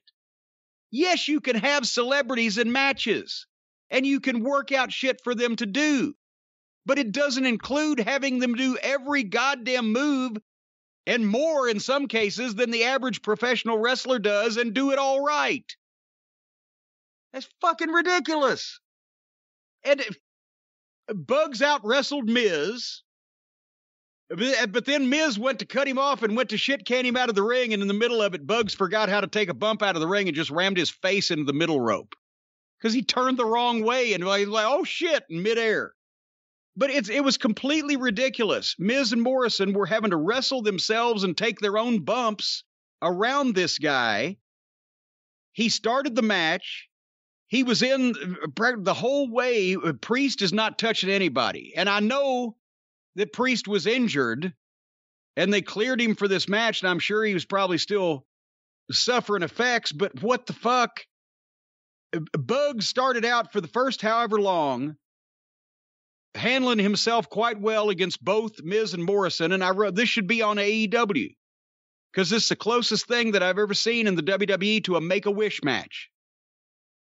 So I got to a point where I had a fucking enough before Damian Priest ever got in the ring. I was sick and tired of waiting on it. I'm a big fan of his. I'd love to have seen him at WrestleMania. It wasn't worth watching them let this fucking anorexic rapper live out his WrestleMania wet dreams. And so I fast forwarded through apparently another eight minutes of this. What eventually happened? Bad Bunny and Damian Priest victorious at WrestleMania. Who beat who for what? With what? That's a fantastic question that I wish I remembered off the top of my head. However, I don't. I've seen plenty of d- b- highlights of Bugs Bunny diving off the top rope out on the floor and doing this and doing that. I didn't see a goddamn thing about Damian Priest. You know, he is a big celebrity. Suzanne is aware of him. The kids are aware of him. And Suzanne happened to be in the office when that match was on. And she looked at the TV and she said, Is that Bad Bunny? I said, Yeah. And she has no idea what we talk about here on the show. And she literally said, Boy, they'll let anyone wrestle now, won't they? she, I mean, that's what we always say people would say if they saw it. She literally said that. I know a lot of people going crazy about his performance, and I'm sure he took it seriously and wrestled like a wrestler the Yes. way he would want to. There's a reason why Andy Kaufman didn't go back and forth with Jerry Lawler. Thank you. But there's a reason why Ronda Rousey was able to hang because she was a high level athlete Thank you. and you would think she was doing training. I think that's the problem here. He, you can't take anything away from his effort and what he tried to do, but it still shouldn't have happened. How do you ever look at the Miz and Morrison as anything other than clowns again? Miz was just a champion. He was just the world champion. That's right. That's right. Of course, to be fair, he was portrayed like a fucking flunky when he was the world champion, also. But that, eh, and yes, you can have celebrities. It should be a reverse heel manager match. It's this guy's the babyface, so he's the celebrity. So Damian Priest starts, and Damian Priest out wrestles the heels, and then Damian Priest sets up a couple of things that Bugs can come in and do and and fucking get his uh get even with the heels and they get their comeuppance from Bugs because Damian Priest sets it up and then somehow the heels catch Bugs all by himself and fucking stop him and get a little steam on him. It's because the guy can sell and they just they're they toy with him and don't take him seriously as they wouldn't which allows him at some point to escape and get the fucking tag, and Damian Priest makes a comeback. Bing, bing, bing, and then sets something up, and then Bugs can fucking get the pin if he wants to, because he's the celebrity after Damian Priest did the damage. But this was the second match that was just completely ass backwards. The all right. Anyway, we've we've spent enough time on bugs. Um, I can't say the main event because it wasn't even advertised as the main event. That was McIntyre and Lashley. they did call it the main event on commentary. But they, well, I can't call it, but they called it the main event on commentary, even though it wasn't advertised as same. For one of the women's championships, Sasha Banks and Bianca Belair. And you said, don't you dare skip this, Jim. Everybody wants to know what you have to say.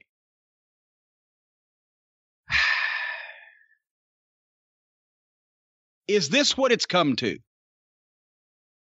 We've said sometimes you have a a match and you ha- you need a stadium, and other times you have a stadium need a match. Is it now that to prove that the women are equal that they have to put this match on last? For is is this what it's come that they have whittled the wrestling audience down so far to just the diehards and the people that are left that they don't see anything wrong with the last match at WrestleMania is a girls' match. And I'm not faulting their effort. I don't eh, I last year at WrestleMania my favorite match was Charlotte and Rhea Ripley. I would have thought they were crazy if they put that on last as the main event too. But like we said earlier in the program, it doesn't really matter anymore because they don't need to sell pay-per-views. They don't need to sell live event tickets. They're on a guarantee from the network and Peacock. So now they can just make the, the girl wrestling fans happy. If this match had been on any, on, on any WrestleMania in any other spot, fine. It was a great girls match.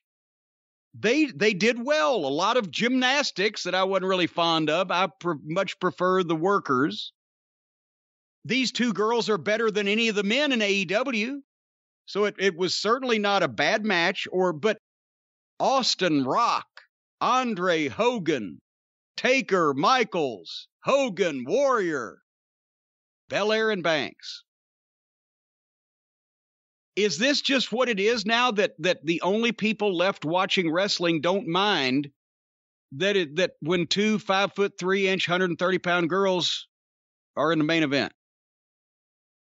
let me ask you a question brian if the nba and the WNBA decided to play their championship games in the same arena on the same night, which one would go on last? If it was the NBA and the WNBA be the NBA. I don't know if that's a fair comparison to this. Why is it not? Because based on the reaction to the audience, Sasha Banks is as over as any of their guys I on know. the entire show. That's part of the problem. They have pussified pro wrestling down to where the 30 years ago people would have rioted if instead of blood and violence and people trying to kill each other, they got a fucking girls match for their main event. But now it's just eh, it's another funny. Yeah. But it was great. I, I, can't believe you're shitting on this in any way. I'm it, not shitting. It was. On was there a better match on WrestleMania Night One? Was there a better match on WrestleMania than this match? I, I honestly, I liked um, Cesaro and fucking. Uh, I, I, like, as a matter of fact, Steen and Steen and Zayn. We'll get to that, but I liked Cesaro and uh, Seth uh, but of course, there was no heat to it. There was hate to the girls, but I. Yeah, and it was a great moment. You know what? The Bianca Belair crying and being emotional about this. The moment of WWE. Remember last year when we watched NXT, you and I both said Rhea Ripley's a breakout star. She could be big. And I said, and you kind of agreed at the time, I see Bianca Belair too. And now they took both of these women and on two different nights gave them the world titles in their various women's divisions. So it's a big moment. It was the best. I think it was the best match on WrestleMania it, night. Well, and I, okay, I will say this: Belair and Banks was better than Ripley and Asuka, and we'll get to why that was yeah. here shortly. And that and that spot at the end with her whipping her hair. I, I'm sure you'll get to it, but how did she make the hair whip sound like a bull whip? Man, Dutch Mantell should be jealous right now of well, how that I don't sounded. even know what is is is there a coating on that ponytail or braid or whatever? How would that even do that? I think if you take anything that long that's rope like or something and you snap it like that, it will I, give you some kind of sound. I do have some familiarity with different textures of I'm sure whips and things that can be used, and I've I've personally never left a mark like that on anybody with a, a braided. Nevertheless, um, but I loved it. I actually know, thought this was when I said I was left at the end of WrestleMania night one. Like, wow, you know what? They did things kind of okay for WWE tonight. It was because this match ended it.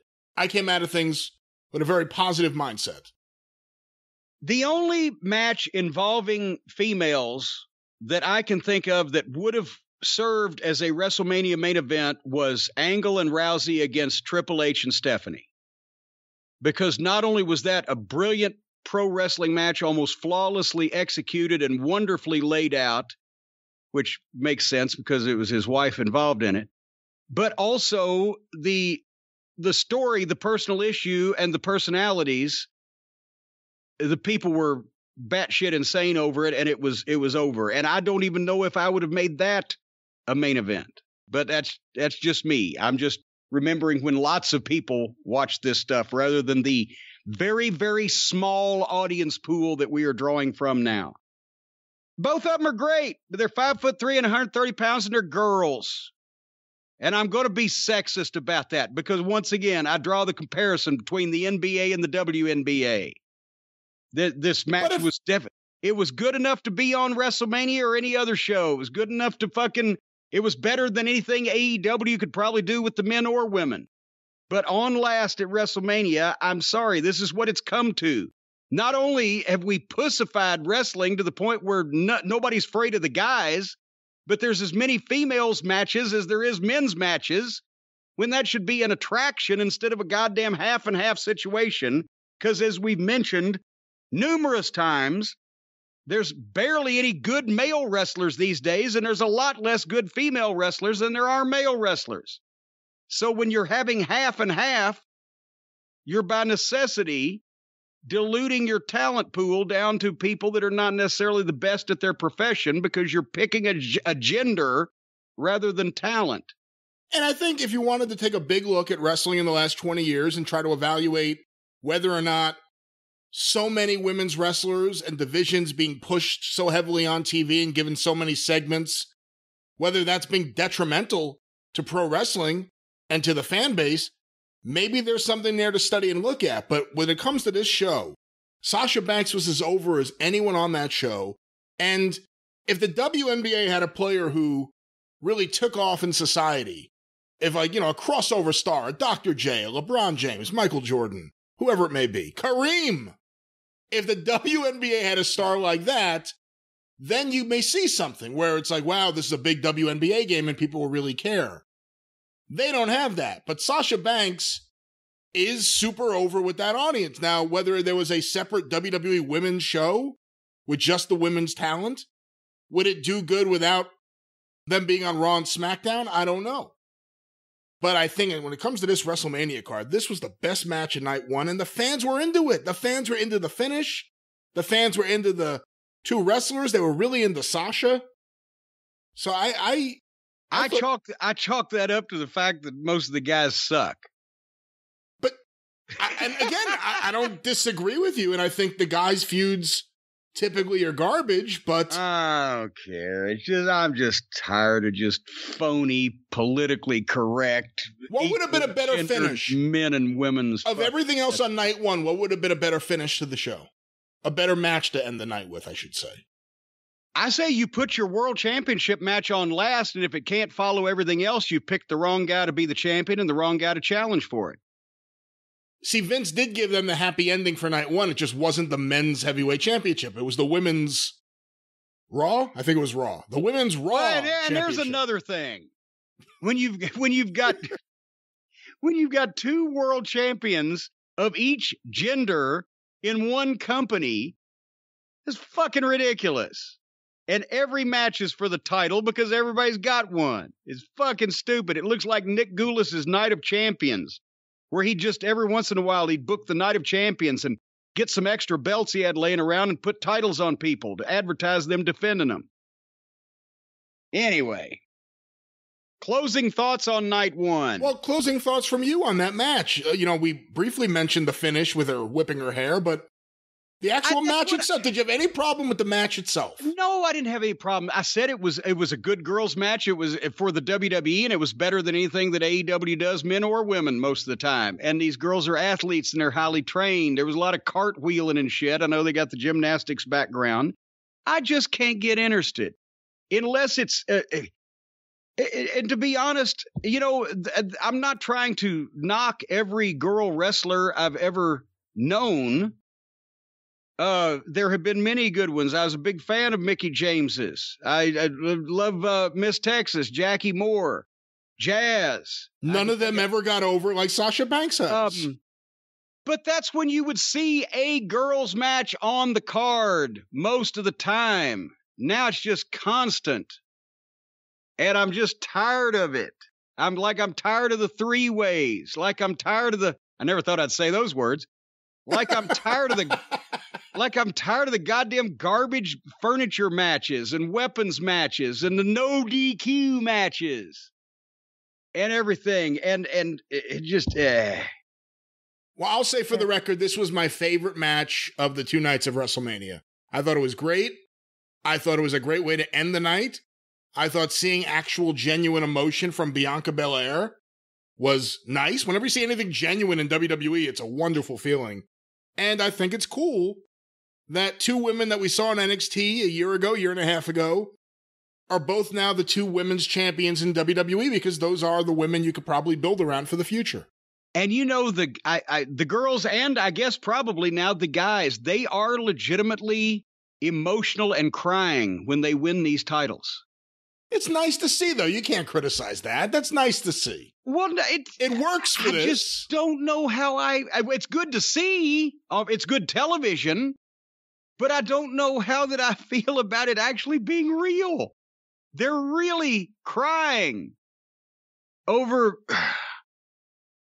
I used to get a charge whenever I knew we were getting the belts because fuck, that means we're going to be in the main events. Do you think Dusty? on top? Do you think Dusty ever actually shed a tear when he got the world title? Oh, are you out of your mind? His his fucking accountant probably shed a couple of tears. Well, this is going to be complicated, but no, it it wasn't. it wasn't a crying thing. It was like, yeah, we're the top fucking guys, or I'm the top fucking guy, or this is going to be a hell of a run, or we're going to make some money, or boy, those goddamn, we're going to be on the main events on all this, god, whatever. Not, oh, I'm, it's my boyhood dream or my girlhood dream. That's the story you're supposed to tell, not what's actually. All right. Well, you know, I will say I really liked this match. I thought it was great. Best best match of WrestleMania. Liked it so much I may send an image of it to my skylight frame. well, that way you would never forget it. There would be a picture that not even a picture, but multiple pictures of the entire procedure and all of the combatants and the finish and and all the pyro and everything because the skylight frame, you don't just frame one picture, you can frame multiple pictures because it's all uh not electronic, but how do they say it these days? It's it's all done Digital. through the digital. That's what it is. That's the word that I was searching for to come out of my face. Uh the skylight frames, you get these things and you can set up a photo uh sl- sideshow si- sideshow slideshow a photo sideshow or slideshow. So you can see multiple pictures. You can email pictures to these frames and they pop up right there wherever you've sent it to a family member or a close friend. It looks like a real photo frame, but even the least tech savvy people can use it. It sets up in under 60 seconds, got a 10 inch touch screen so you can swipe through all the pictures you've got stored with your finger. You can tap it and thank the person that sent your picture. Uh, you can uh, get it for someone and you can send them multiple pictures. I always thought that this would be good in the pandemic if you're wanting to send some candid photography to someone you love. But anyway, whatever the case, however you want to use the skylight frame. It is funny. Instead What? of text, instead of sexting the photo, you just send it right to the frame. That There is- you get it's already framed. That's pretty nice. It's a good there idea. There you go. And, and I'll tell you, I'll tell you what, dick pics have never looked so classy as when they're in a skylight frame. Folks, and, and one Facebook review said that this this gives her a little glimpse of us every day. So if you want to give somebody a little glimpse of you, get them a skylight frame, send that picture to them. It pops up there. You can start a whole thing. Anyway, right now, you can you And for the record, it's for the whole family. for the whole family to enjoy. Depending on what kind of family you got, you can get ten dollars off your purchase of a skylight frame. That's S K Y L I G H T F R A M E, skylightframe.com. Enter the code DRIVE, D R I V E, and get $10 off your purchase. Skylightframe.com, enter code DRIVE for your loved ones, your family, your friends, your paramours, significant others, whatever the case. Send those pictures, whether clothed or unclothed, whether candid or posed Stop it. whatever they may be, you can send pictures of these things, and the skylight frame people will will love you. And you will love Skylight Frame. I have one Yes, right they- outside yes, my office, and I very, very much love it. And I've sent one to my dad. They're fantastic. Candid photography? No, I have pictures of me and the family and Swami and Keith Oh. Hernandez and Darryl Strawberry and various other Mets of renown. You have pictures of renowned Mets on your skylight frame in your home. Well, you got to mix it up. You come up the stairs, you don't know who you're going to see. Will it be Suzanne? Will it be Swami? Will it be Dwight Gooden? You don't know. Okie dokie. Keith Hernandez, Rusty Staub, so many great Yeah. Mets throughout the years. Yeah, I I remember Rusty Nail. Um, all right, should we go to night two? We must. Lord, we must, we must, we must improve our bust. Night two, Hogan and Titus were pirates. They were dressed halfway normally and having a conniption fit on night one. On night two, they come out dressed as pirates and they're talking halfway normally. They weren't screaming like maniacs. But the whole. Brian, do you know where a pirate keeps his buccaneers? Where's that? under his bucking hat. that's a that's actually a Norman Frederick Charles III, the royal kangaroo. That's one of his jokes. Were you guys What? Were you guys doing a lot of pirate humor in Chattanooga? Was- He just he, he would he go to the fucking buffet. We went to the buffet and he asked the waitress. He's like, "Are you allowed to take tips?" She said, "Oh yes, sir." He said, "Then take a tip over there and get me a glass of water, would you?" anyway, Great way to get Um, spit in your water. Yeah, well, uh, hey, are you kidding? The stuff that Norman Frederick Charles III used to do. He got that Schaefer beer. It was a dollar ninety nine a six pack back in those days, and uh, I don't. I think spit would have probably improved the flavor of much of his sustenance. Anyway, so uh, Hogan and Titus weren't screaming. They did some horrible rehearsed banter, and I swear to God, go back and watch on night two, especially. Every time Hogan would just open his mouth, they would boo. And every time Titus O'Neil would open his mouth, they would cheer, regardless of what was being said. You act like I'm just I'm not- delusional. I'm taking your word for it. I'm not acting like you're delusional about this. I wasn't paying. I must admit, You I probably paying any attention. I should have paid more attention to Titus and Pirate Hogan doing their hosting duties, but I kind of lowered the volume when that was going on, and that was when I would say, "What's for dinner?" Yeah. or "Can you bring me up some food?" or something. That's when I did my yelling.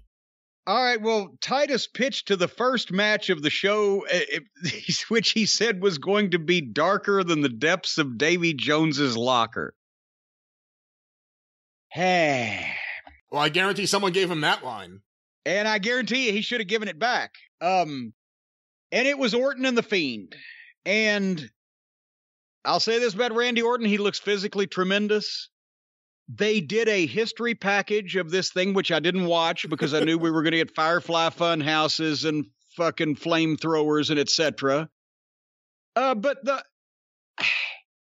I didn't want to see this to begin with, whether it was cinematic or a match, because it's already been just so repugnant this whole thing they burned this fucking guy alive in front of us but supposedly now he's come back so this is fake and they're not really mad at each other so why do i care and orton's in the ring and here comes the goofy music and here comes fucking alexa bliss ignorance is bliss and she skips to the ring to the stupid music and then walks up to a giant jack in the box and turns the thing, and the box pops open, and out comes the fiend, disproving my theory once and for all.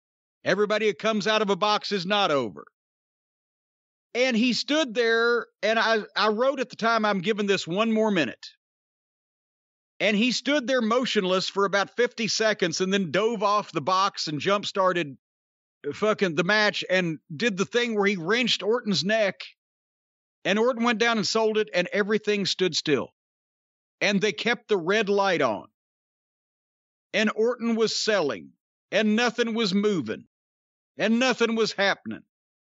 And then Orton rolls out on the floor, so he uh, Fiend jumps out there, and they do a little fighting outside. And Fiend no sells the suplex on the table, and Fiend no sells the DDT.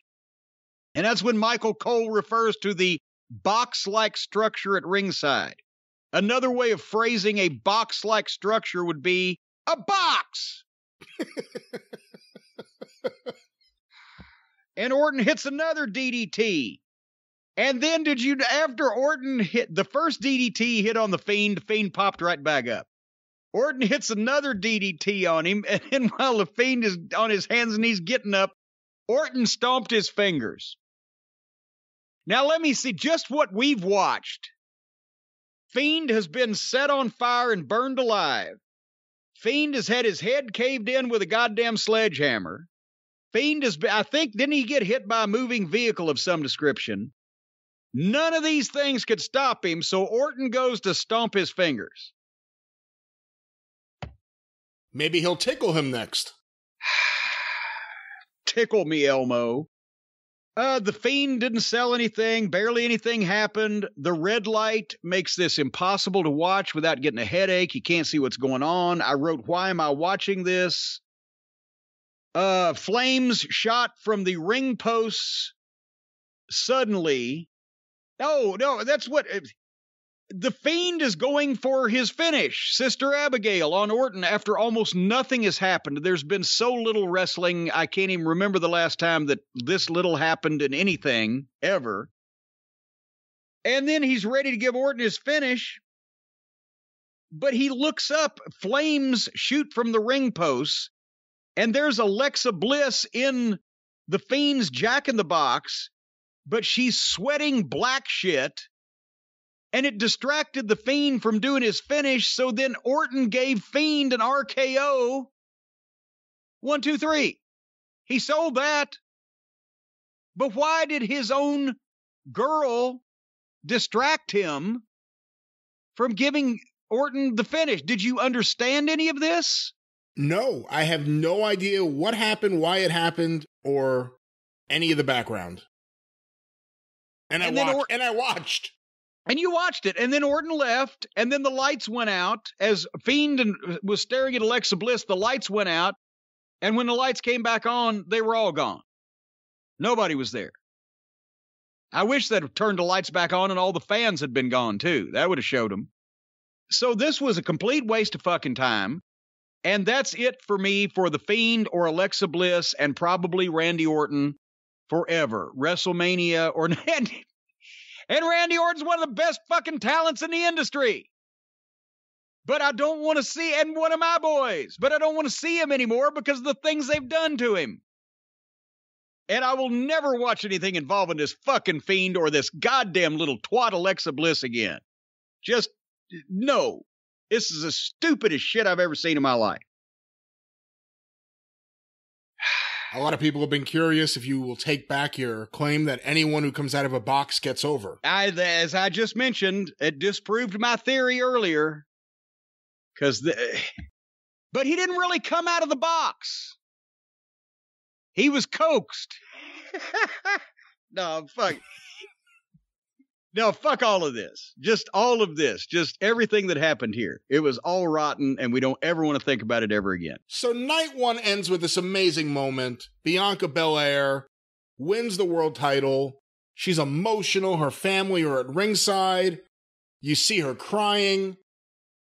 It's like, wow, you know, wrestling can be powerful and, and good. And then night two opens up with this. Yeah. This this was really bad. Embarrassingly bad. And they've painted themselves into a corner where now this fiend is not going to make any sense no matter what he does because they've already, you can kill him but not hurt him, but then you can give him an RKO and he'll stay down.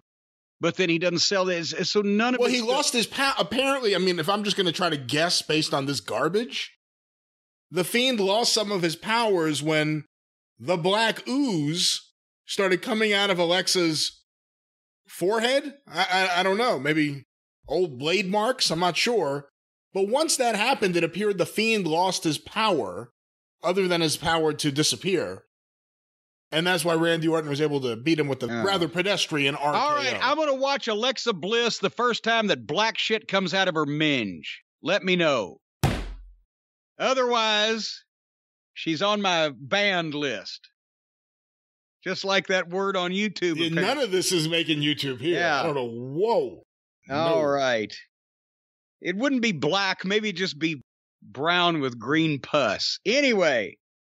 What? So we're we're now uh, Bayley butts in on Hulk Hogan, Titus O'Neil, and Eric Bischoff.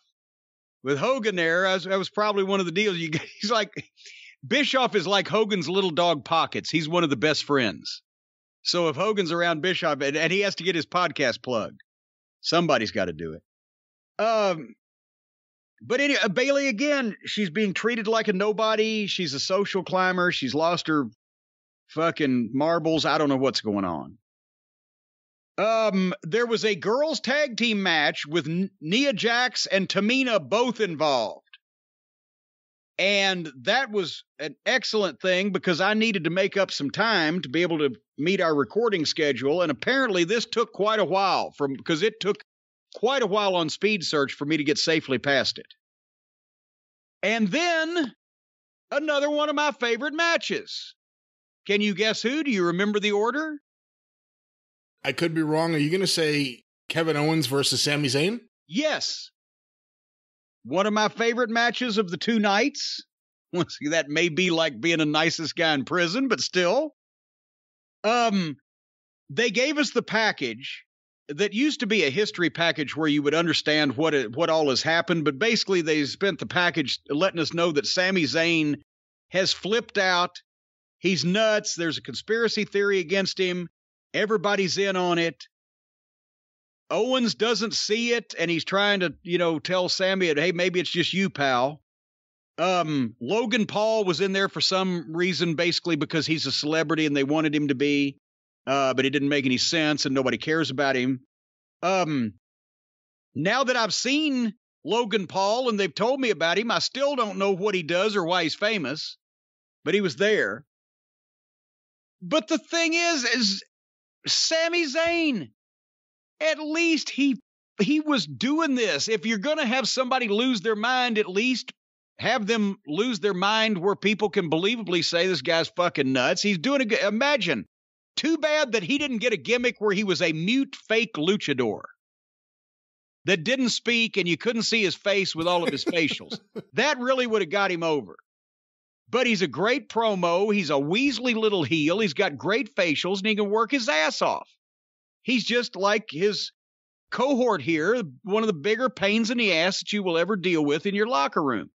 When you had them against each other in Ring of Honor when you were there, did you ever at any point think, you know, one day these two will be wrestling at WrestleMania with and Logan like Paul? It with Logan Paul there. Well, I wouldn't have thought that because I've never heard Logan Paul's name till fucking six months ago or whatever. But uh, and I would like it. No, I never would have thought because here's the thing, and we'll go through this. But they didn't do the shit they were doing in Ring of Honor. They had a match and they worked. There was no ladders and tables and the Home Depot supply truck didn't stop in so they could build their shop class projects and and thumbtacks and the barbed wire fucking whatever they had a match because they had to here, and it and it it worked anyway. Besides the fact, I don't know why does Sami Zayn dress like Fidel Castro.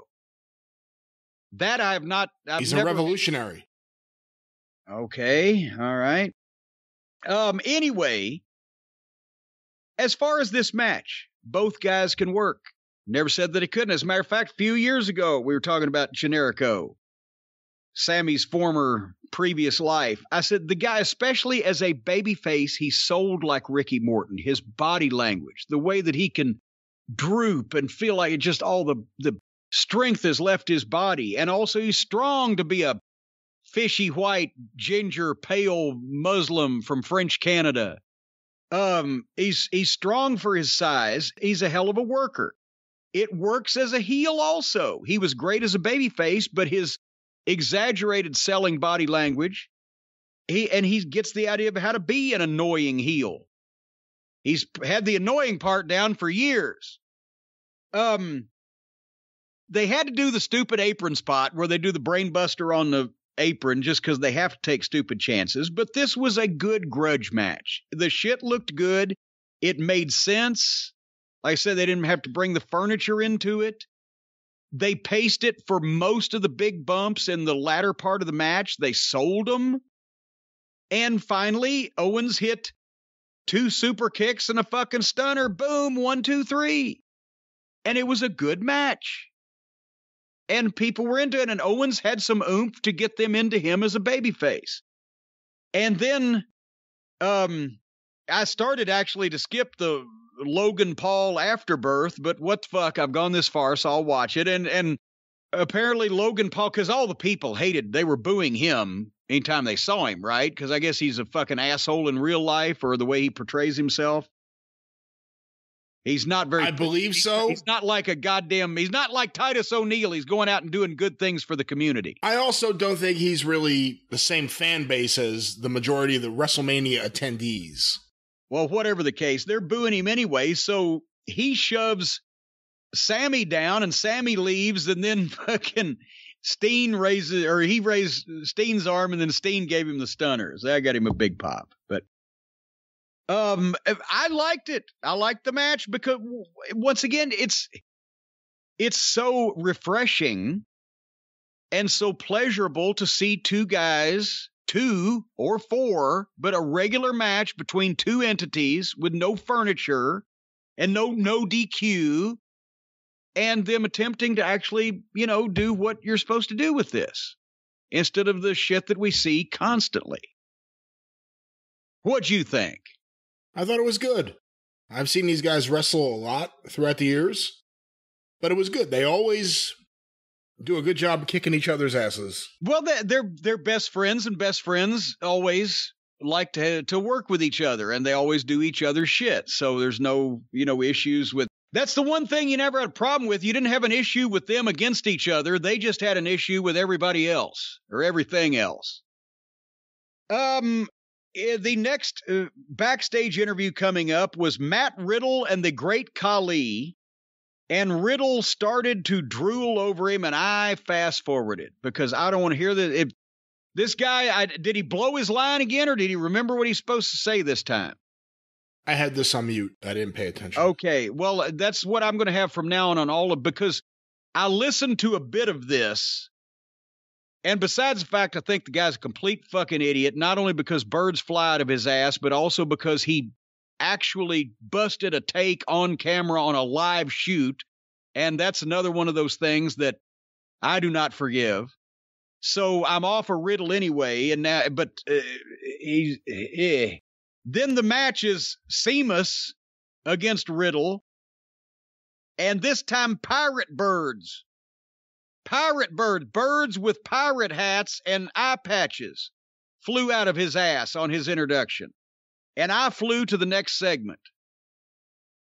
I didn't think anybody was going to be upset if I didn't include this in our review. Am I wrong? Have I offended anyone?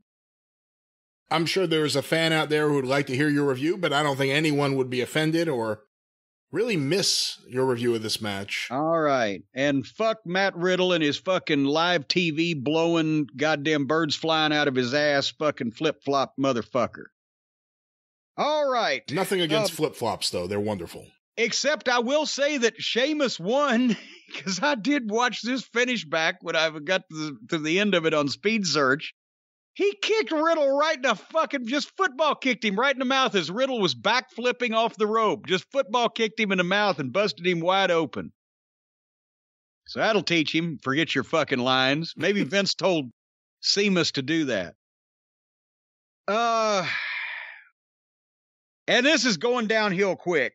Then we then we got to the Nigerian drum match between Big E and Apollo Crews.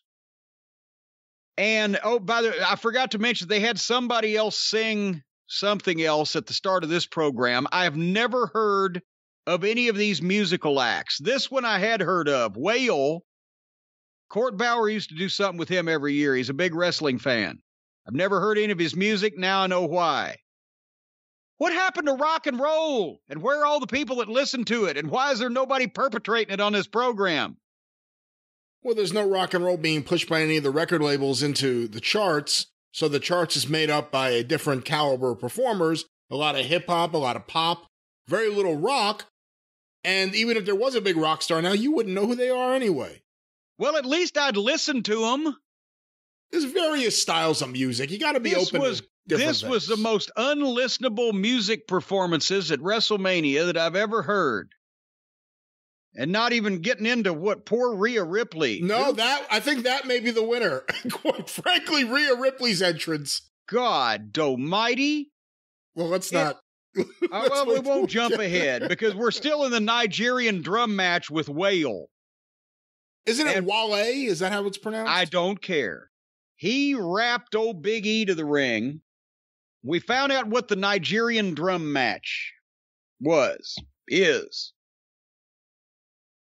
They get in the ring, they look at each other, the match starts, and both of them immediately roll out to the floor and get kendo sticks and come back in. And the first moves of this match were the two guys wailing on each other with kendo sticks. Then they went out to the floor and continued wailing on each other with kendo sticks, talking about wail. And there were drums and cymbals and gongs around the ring and there's two guys that have not touched each other hand to hand in a wrestling match before they just went out and got kendo sticks and began wailing on each other with them. And I wrote, Life is too fucking short. I started speed searching. They used the stairs, they used the tables, they used the chairs. Oh my. And finally, Apollo Crews sp- splashed himself off the top rope through a table when Big E moved and Big E hit his finish and was covering the guy when the world's largest college marching band leader hit the fucking ring. I, he must be the tuba player. He'd be the only one big enough to fucking carry it around. And beat up Big E in front of the referee with him standing there watching it. The announcer said, No DQ. You know what that means, Brian? Lazy booking. And then Crews just covered him and the referee counted it. A garbage match with a garbage finish. And it was in Florida, so it was hot garbage. Can they not do anything except this bullshit? The weapons, the no DQ, Heels get no heat because everything's done in front of the referee. It just makes the company look bad and turns the fans off. That anything means anything, that there are any rules or parameters. And that's that's why we are literally down to the smallest audience that has ever watched professional wrestling since its inception ever and they just watch it as a hoot to do a, fucking live action stunt show. And the people who once enjoyed watching it have been so offended by just this type of thing that they don't care anymore. So that's what that was. What did I miss during the speed search? Did somebody get run over with a goddamn golf cart? Oh, no, I forgot. That's on the other channel. That was uh oh, it was on this channel too a few months ago. Oh, I forgot. That's right. They had to take a better bump off of it. Did you notice who the big guy was? Well, yeah, they were acting like they'd never seen him before. How many times you see a motherfucker that looks like that? There was a guy on Raw, Baba Dabba Kato, Dabba Baba Dabba Baba. Double Bubble, Baba Kato, Daba Kato. He was on Raw. Shane McMahon said his name over and over again to the point where I thought it was one of the funniest names ever, Dabo Kato. And now they have no idea who he is. He was just all over their TV. And now they're like, oh, this big man, whoever he is. Dressed as if he just left a marching band. Possibly he's Sergeant Pepper's illegitimate son. I don't know. Dr. Pepper. So now Apollo Crews has Dabo Kato as his giant, and AJ Styles has Omos or Omos. We haven't really, I know it's not Omax, but we haven't really honed in on what it is. And they're not even on the show today, so no, they just got a free plug. They're not. But you know, Jim, I, I will say this: you are doing God's work here. There are so many fans that we hear from, so many listeners of the two podcasts every week and all the YouTube videos that say, this has been a rough year for me. There's a lot going on. Thank you so much for being there for us. And some people need more than just listening to you rip apart professional wrestling. Some people need someone to talk to. Some people have real problems. That's right. In- instead of instead of these self-inflicted problems that the wrestling companies have or the problems that we have which are also self-inflicted and that we we do this to ourselves for the good of the of the people. For the good of the people, we watch sometimes so you don't have to. But if you need to talk about something serious, the last people you'd want to talk to is me and Brian Last, jolly jokers like ourselves that just take the piss out of everything. If you want to have a serious conversation, you can talk to the folks at BetterHelp. BetterHelp will assess your needs and match you with your own licensed professional therapist You can start communicating in under 48 hours. Whatever your problem, is there something interfering with your happiness, preventing you from achieving a goal? You need somebody to talk things over with. It's not a crisis line, it's professional counseling done securely online with a broad range of expertise, and the service is available worldwide. And once you make an account, you can log in anytime, send messages, get responses, schedule weekly video or phone sessions, whatever the case. It's more affordable than traditional counseling offline, as they say, actually in person shit. And who wants to do anything in person these days? But folks, if you go to BetterHelp, that's H E L P, betterhelp.com slash JCE, you can get 10% off your first month's services. You can join the over 1 million people who have taken charge of their mental health with the help of an experienced professional. BetterHelp.com slash JCE 10% off your first month. Of course, this podcast is sponsored by BetterHelp, and that's why all of our Drive Thru listeners get 10% off their first month because we like them and they like us. That's right. You know who else I like? No. I like me some Rhea Ripley. Uh, besides her, is that the entrance music she usually uses? And I just don't listen to it, but it was louder and more noticeable this time because someone was screaming it in person. I think so, but whenever we've seen her come out, I remember hearing the word brutality to start. I don't remember it being just screamed nonstop throughout the song. Brutality! It was really, really bad. It sounded like somebody was disemboweling a drunken house cat with a fishing knife. In the garage where it echoes. In the garage. In the garage where it echoes. Where it echoes. Um anyway, this is this that's why I said this is not the WrestleMania for for music lovers, folks. Um but it was Rhea Ripley against Asuka for the? Raw Women's Cha- Oscar, Oscar, you say ah, I say er. For the Raw Women's Championship.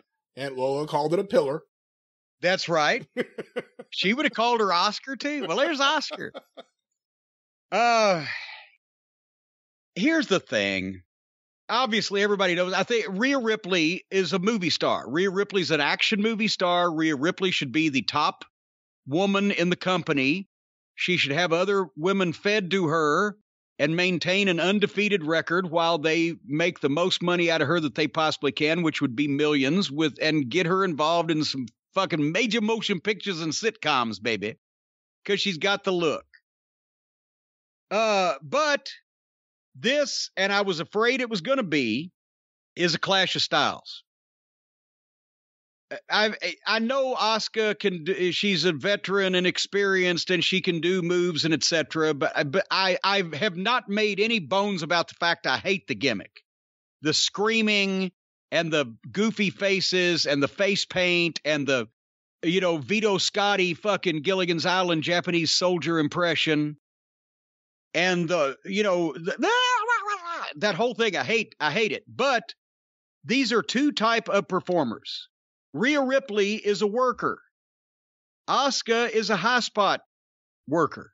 She wrestles just like all the other Japanese girls, a 100 miles an hour, doing everything she can do. Even if it's done well, she does high spots and she goes from one r- gymnastics routine to the other. Rhea Ripley is a worker. As a matter of fact, I'm going to, after I've watched her again, I'm going to say, as a worker, she's probably one of the best girls in the business right now. She, and when I say work, I'm not talking about the way she performs moves. She's a worker. She takes her time. She has different gears. She slows it down sometimes and gets personality in, then she picks up the intensity. She's got facials. She fucking heals. She actually heals and gets down, slaps the fucking girl in the back of the head and is condescending. She has a look on her face as disdainful. She does trash talking. She has attitude. And she works with her body language, the way she, she sells shit, and then the way that she, she works like a guy, which used to be, it probably isn't anymore. As a matter of fact, they probably get mad now if you said this. But the biggest compliment that any of the guys ever gave any of the girls in this business was to say she works like a guy. And that is a compliment because most of the girls, they're built differently and they work like girls. Their striking is especially suspect. It's hard for them to make their bumps and things crisp.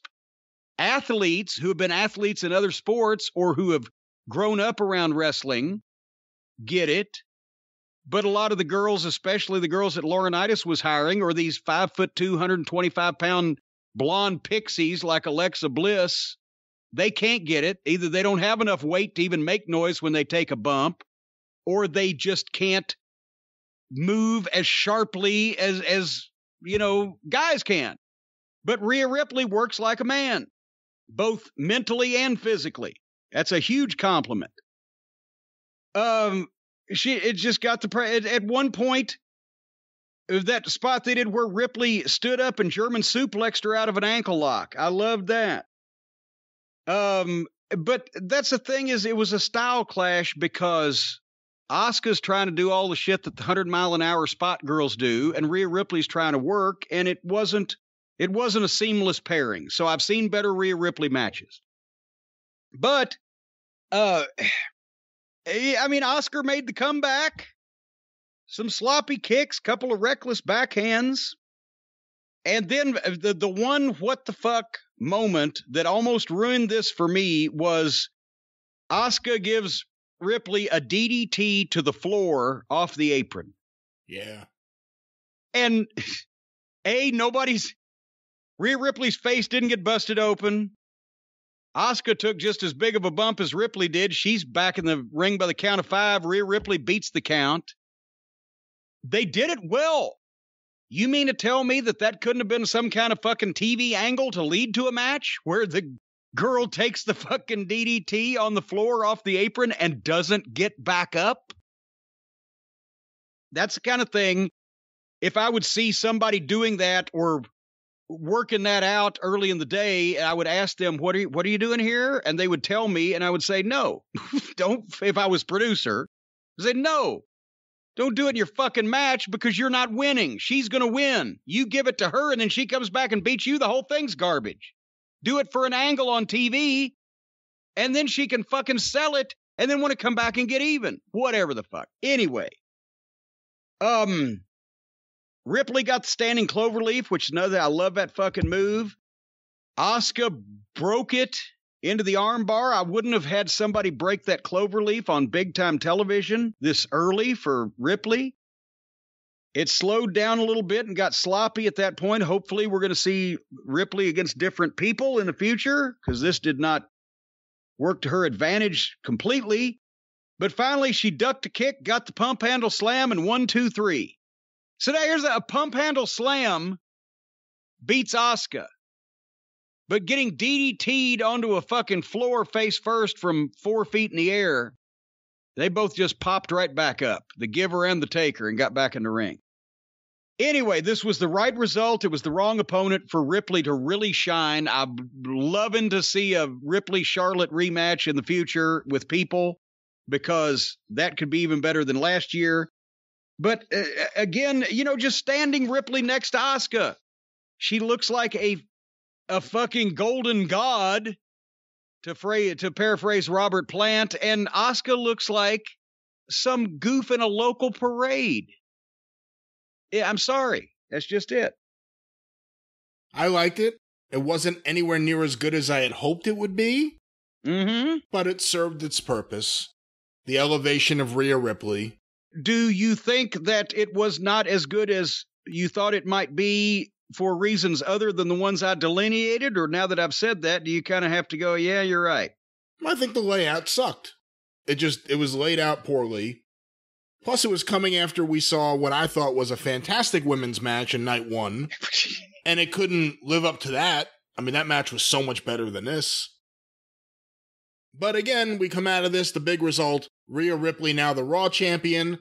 Here's another thing Bianca Belair on SmackDown, two NXT women being elevated, and they probably should be. They should Here's be. Not even thing. probably. They should be. Yeah, here's another thing. Here's another thing. They, eh, I would rather see Ripley against either Belair or or Bianca. I started to say be, be, be, be, Bianca Sasha. Belair or Banks. Sasha A Banks. lot of lot of B's, but uh, I would rather see her against either one of those two than Asuka because it's a style clash, and I bet you the other girls will do a better job working with her. you may anyway. be right. Yeah, you may be right. All righty then, Titus and Hogan were back to do some more memorized banter, and this time, whereas the previous night, uh, they must have talked to him about Titus. Try not to fucking shit your pants, she screamed so loud, because now he had the emotion of a coma patient. And Bayley interrupted this one because they forgot to thank her. And she called for her pyro. That's why where I noted that she was dressing like a 45 year old PTA president. And then out come the Bellas to cut a promo on Bayley. So they've been burying her just with her actions all weekend and have the things they're having her say and do. And now the Bellas come out, retired recently in the Hall of Fame, and beat Bayley up and throw her down the ramp. and I got to admit, I have never once seen one of the Bellas wrestle, to my knowledge. I can never remember seeing oh, a you Bella must match. have. You must have. Well, when would it have been? I don't know. There had to be something we reviewed with them. I can't think of an example. Okay, well, all I'm saying is I can't remember ever seeing them, but if this was a brief example of their work, I feel happy about not remembering ever seeing them fucking wrestle. Were they worth a shit? No. No, they were not. God There damn. are a lot of women's the, wrestlers. You know, you the can. one girl that the whichever twin blocked Bayley's punch and the stagey fucking punch and oh my god. That's the thing. Like Asuka and Rhea Ripley, those are two women that wanted to be in the wrestling business. And you may not like Asuka, and this may not be the best way to use her, but she's very talented in the ring. Rhea Ripley's great in the ring. The Bellas were what bikini models that were plucked into WWE. So no, they were never very good. Uh, they're good as personalities, I guess, but not good in the ring. All right. And what does that say about Bayley? She was just like their top woman there for a Well, while yeah, that's of the what I'm saying. She had a she had a she had two belts about six months ago. We were watching one of those programs. She did take a great bump down the ramp. Well, yeah, I mean she's trying. I like it. She's got personality. She can talk and she can work. And uh, but I don't know why they're act suddenly she's a fucking flunky that's lost her mind. Anyway, we got one more to go. Hmm. First of all, the package that they did at the start of the match illustrated what they somehow fucked up here. Can you mean to tell me that it this three way where they shoehorned poor Daniel Bryan into the match for one of the world titles that this match was more attractive as a three way after Edge comes back and suddenly fucking just turns heel for very little provocation and bashes Daniel Bryan's brains in with a chair and flips out.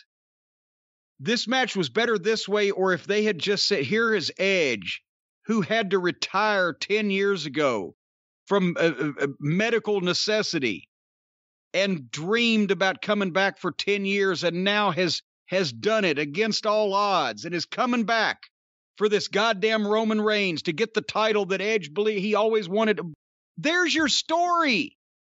Why did they change it in midstream? The people would have fucking and especially if you're not going to change the belt. They just they made Edge look like a complete fucking idiot.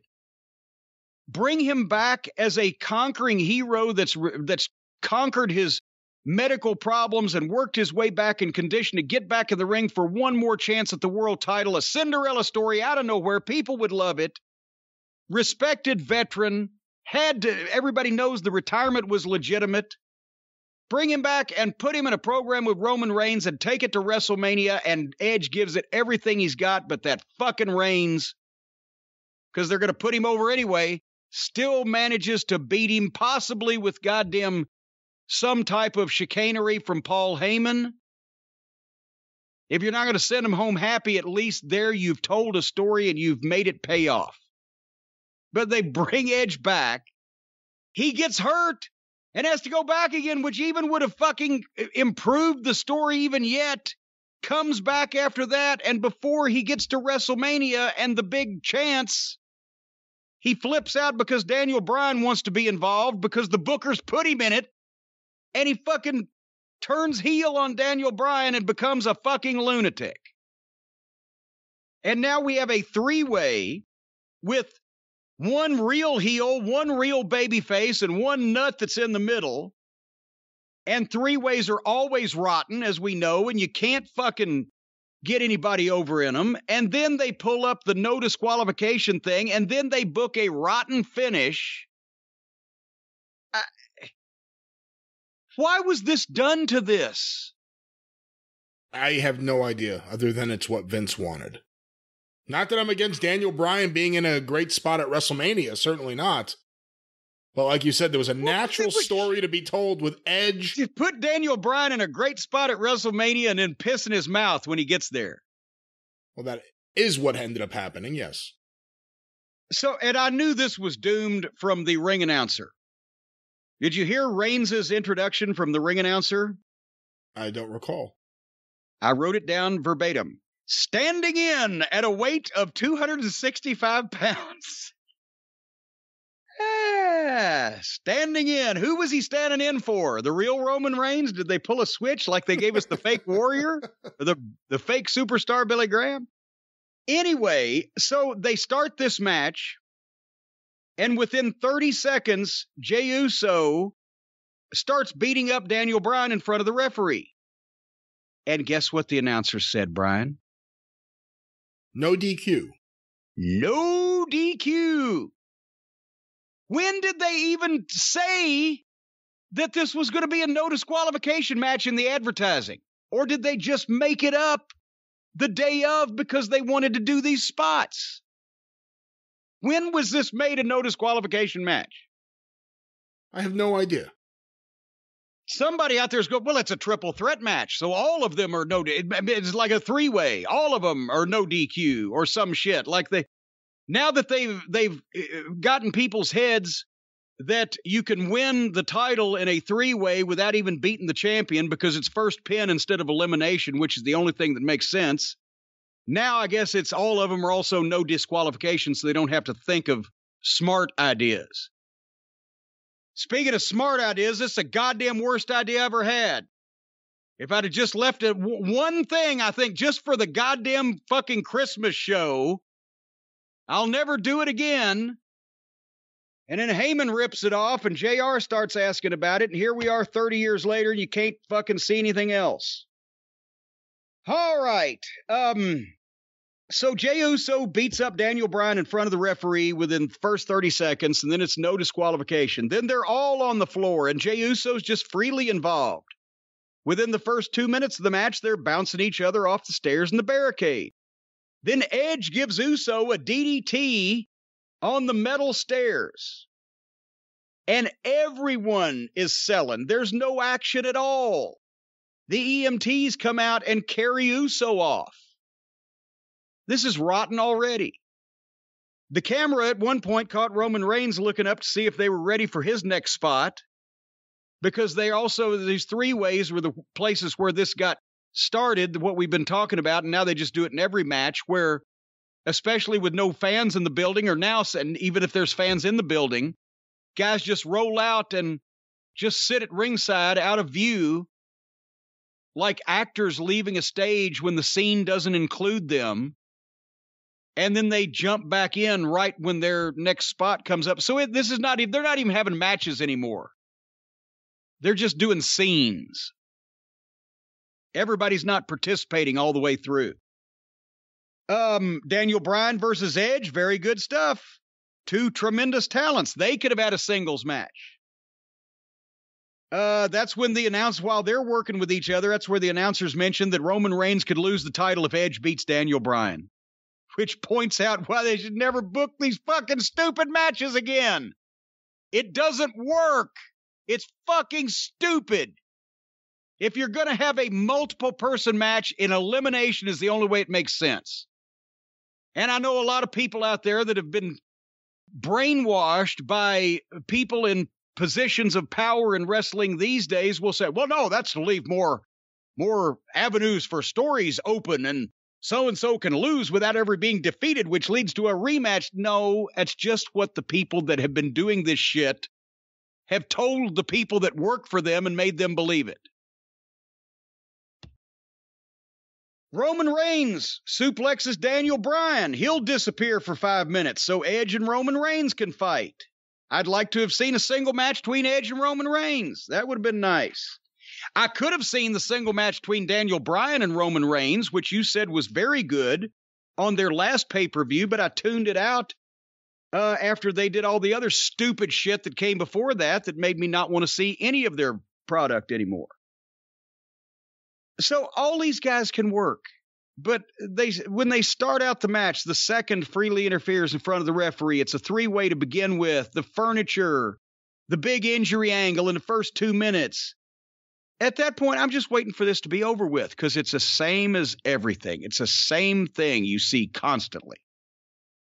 And Paul Heyman is the manager, and he never interferes. He doesn't even pull a fucking leg. He doesn't even walk around the ring. He just stands there with his hand over half of his face. He'd have to have hands the size of Andre to put a hand completely over his fucking face. And, and he looks worried and gets bug eyes when his guy's getting beat up. Can you remember a time he has interfered, passed an object, No. pulled a leg, come in and distracted the referee and or the the baby face and taken a bump from the baby face so the heel can come from behind? He got one chance and he couldn't unlock handcuffs. No, I with him, a- it's it's all facial reactions now, and I don't think he's taken a bump since 94, 95. I know a young lady that uh, used to tell me some of his shortcomings, and she never said that he couldn't unlock handcuffs. But and it, Oh, the thing is, I know I'm not suggesting that he take like power slams and suplexes and whatever the fuck. But if you, that's one of the reasons why I don't manage anymore. I got to the point where I don't want to take any more fucking bumps because I'll hurt myself. But if you're not going to take bumps, don't manage. And Paul has Paul has never had an injury. He's never had a surgery. Think about well, when, Lawler did break his jaw. okay, that's that wasn't surgery. It was an injury. But you know, so did he. Jimmy Hart too, same thing. But you get over those. But Paul had as an active manager. He started in what eighty seven, and he wasn't even really managing and bumping in ECW after he took over the book. So six years. So he never had any injuries. He never had any surgeries. He ought to be able to goddamn fall down now once in a while. I could still do it if I wanted to. For that much money, I'd take a fucking bump. But anyway, I don't. eh, So the flunky Jey Uso just does everything in front of the referee, including, you know, bringing goddamn bludgeons to the ring and whacking people. But the manager that's supposed to interfere never does. Uh, oh, wait. Everything came to a halt again while Roman Reigns set up stairs in front of the desk and then slowly brought Daniel Bryan up and power bombed him on the table. But then Edge speared Roman Reigns off the steps and everything comes to a halt again as they're all laying on the ground. And that's when the announcers say, Well, there's no countouts. Uh, Edge put Re- Reigns back in the ring after Edge speared Roman Reigns off the stairs. Boom, and everybody's selling. Then Edge puts throws him back in the ring where he can beat him, but he doesn't get back in the ring. He goes out out back of the announce desk and starts grabbing chairs. What? You just hit the fucking champion. You've thrown him in the ring. Go for a fucking cover. No, I'll throw him in the ring and then I'll go find some more furniture. Why do you need the extra furniture? You might could have beat him there. The whole thing have been over with. You ever think about that? So he brings in multiple chairs, eh, but then Reigns grabs a chair and it this if this spot was planned, actually they did, they did it very well because Reigns grabs the chair. They have a little tug of war, and Edge it, it- Reigns pulls the chair away from Edge, but Edge ends up with one of the metal bars from the chair in his hand. And then he looks like for a second, like, oh shit, how'd I get this? And then he drops it because he's not supposed to have a fucking metal club in his hand.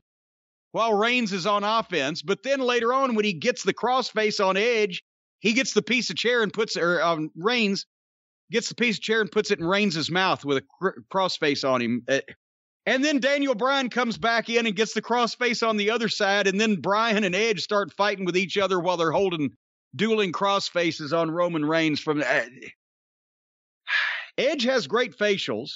I'll say that. I think he looks great here now, like as an old gruff Yeah. edge. Yeah, He looks like an old guy who kick your ass. he looks like a he looks like an old mean man, like some of the boys used to look like before they started working to where you couldn't do this after you're fucking thirty five. Um, but he kept throwing the chairs in the ring, and th- this would not end because it was Edge hit Reigns five times and Daniel Bryan four times with a chair, just pulling back and Paul Bunyaning, Paul Bunyaning them, but didn't go for a cover at all. You're in a match for the world championship that's your goal coming back to the sport that you had to goddamn retire from due to doctor's intervention. And now you've got a chair in your hand. The referee's doing absolutely nothing about it, and you've pummeled into powder the champion and your other opponent, and you don't go for a cover. You get back out of the ring and go find more chairs. And then you get in the ring and you put a chair under Roman Reigns' head and a chair under under Daniel Bryan's head and they leave their heads on those chairs when you walk away from them to pick up another chair. Both of them were motionless and could have been pinned easily in the, in the state of, of physical condition that they were in, but no. They're leaving their heads on the chairs. Edge goes to get another chair, and he does what do they call it? The Con-Chair-To. That was a thing he and Christian used to do. It was stupid then. I love both those guys, but it's stupid then. Because unless the goddamn guy instantly his head explodes in a bloody clot and you never see him again, it was fake. So he he hit a Con-Chair-To on Daniel Bryan that was fake. Uso's back in the ring. He was taken out by a goddamn DDT on, on the stairs, but he's back now.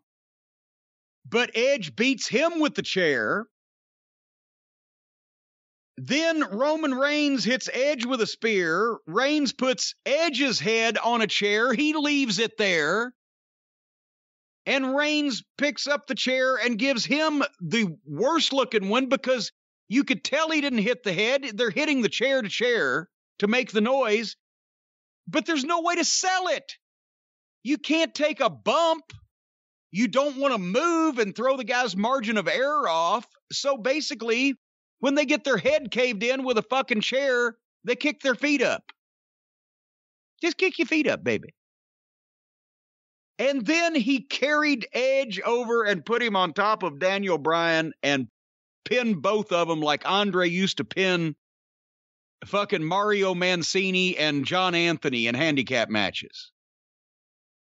Besides the concertos looking fake as fuck, could there be a worse finish to make the fans mad at the company, make Daniel Bryan and Edge both look like shit, not get heat on Roman Reigns, and leave this taste in the live fans' mouths after they spent a fortune to sit out in the rain for six hours? What do you think? I wasn't a big fan of uh, aspects of this match. And I was surprised by the finish. Not only that Roman Reigns won and retained, but the method in which he pinned both guys. That was surprising. Not a big fan of all the Jey Uso interfering. But I agree with a lot of what you just said. That's and again, if it had been Reigns and Edge with the Cinderella story, Edge could have done the job, and it wouldn't have hurt him because people would have still reckoned, "Oh, goddamn, he's 47 years old and he came back after. Good for him. What a match!" Because it would have been better as a single match. Or they could have had a fucking. Well, I, I I wouldn't have had Roman Reigns and Daniel Bryan again. But eh, the fans, uh, once again, the fans couldn't be mad at the heels in this because they were doing everything right in front of the referee as part of the lack of any kind of parameters or rules in this clusterfuck they were in. So the heels can't get any heat. Um, the baby faces or the baby face ends up looking like shit because he's on the bottom of the pile that got sat on by Andre's ass and just pinned like a turd in a punch bowl. Um, it didn't really get any heat on Roman Reigns for the obvious reasons because it was a bad finish and because Jey Uso was allowed to freely interfere in front of the referee. Just visually, it looked bad left a bad taste in people's mouths. The heel went over at the climactic point of the second and last night of WrestleMania, so the people leaving the stadium are going, oh, yeah, that was a flat fucking finish and nothing really happened. Even if they'd have put Edge over in a Cinderella story out of nowhere to give people the, you know, where they'd, you know, skip on off into the night, into the parking lot, happy as, you know, a pig and shit, and then take it off of him a month later, that would have been better. Uh, but nobody came out of this, to me, looking even as good as they did when they went in. Night one started and night two ended the same way, with the heel champion coming out victorious. So there you have it. I can't even. I took so many notes. I can't even tear this all in one tear. It looked like Bobby Heenan trying to tear a phone book. Save so I'll it. just. I'll just tear. Will you stop? You care about The history. You should stop ripping this stuff up. This is. Oh, nobody's ever going to look at this again. I Oh, wouldn't even people would love to look at again. it. People would love to look at it. Well, I got some other things people can love to look at. Well, they could do that on your OnlyFans page, but people want to see your notes for all these. You know, hey, and here's another thing. If people think that women get the short end of the stick, they sure can make money on OnlyFans a whole lot easier than guys can. They got advantages. I guess so. I didn't expect this rant. well, I'm just saying. You know, everybody everybody's got it, their own type of advantages, but women are just not completely helpless and defenseless. They can make money on OnlyFans, and they never have to work at getting laid. And also, of course, I don't know how I'm going to transition to Stephen P. New from this. of course, they also can sue a big corporation like 3M when they get screwed over. Oh, for heaven's sake, just admit it. Just admit it. You want to just go into the Stephen P. News spot now, and why shouldn't we? Ladies and gentlemen, here he is. Play that funky music. Call Stephen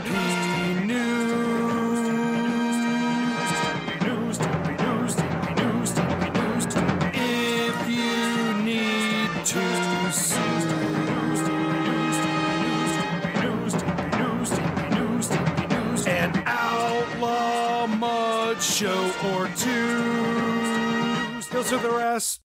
Yes, ladies and gentlemen, whether you're upset over being sold a bill of goods on a wrestling pay per view or whether you got real troubles in your life, like uh, an elder family member, the victim of nursing home abuse, whether a major corporation has poisoned the water source in your town, whether the Veterans Administration hospital doctor has assaulted you or a member of your family. Stephen P. New is in all of this stuff because he doesn't like it when people take advantage of the little guy and want to walk all over him. And he fights for your rights. NewLawOffice.com, 888 692 8084. He's become not only a celebrity, but also a paragon, a shining light of legal jurisprudence in a world of shadiness. You know that Stephen P. New is an attorney you can trust. You know, a lot of times people ask the question, why does a snake not bite a lawyer? And the answer is professional courtesy.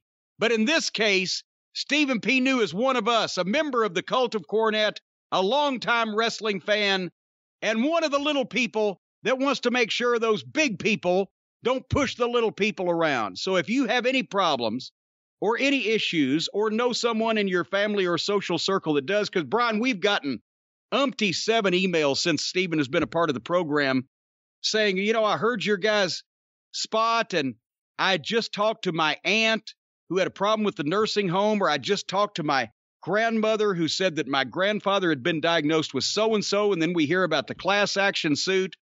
So a lot of the cult members have put non wrestling family members or friends in their immediate circle onto Stephen P. New without even knowing about his sparkling reputation in the wrestling profession. Anyway, Stephen P. New, newlawoffice.com, 888 692 8084.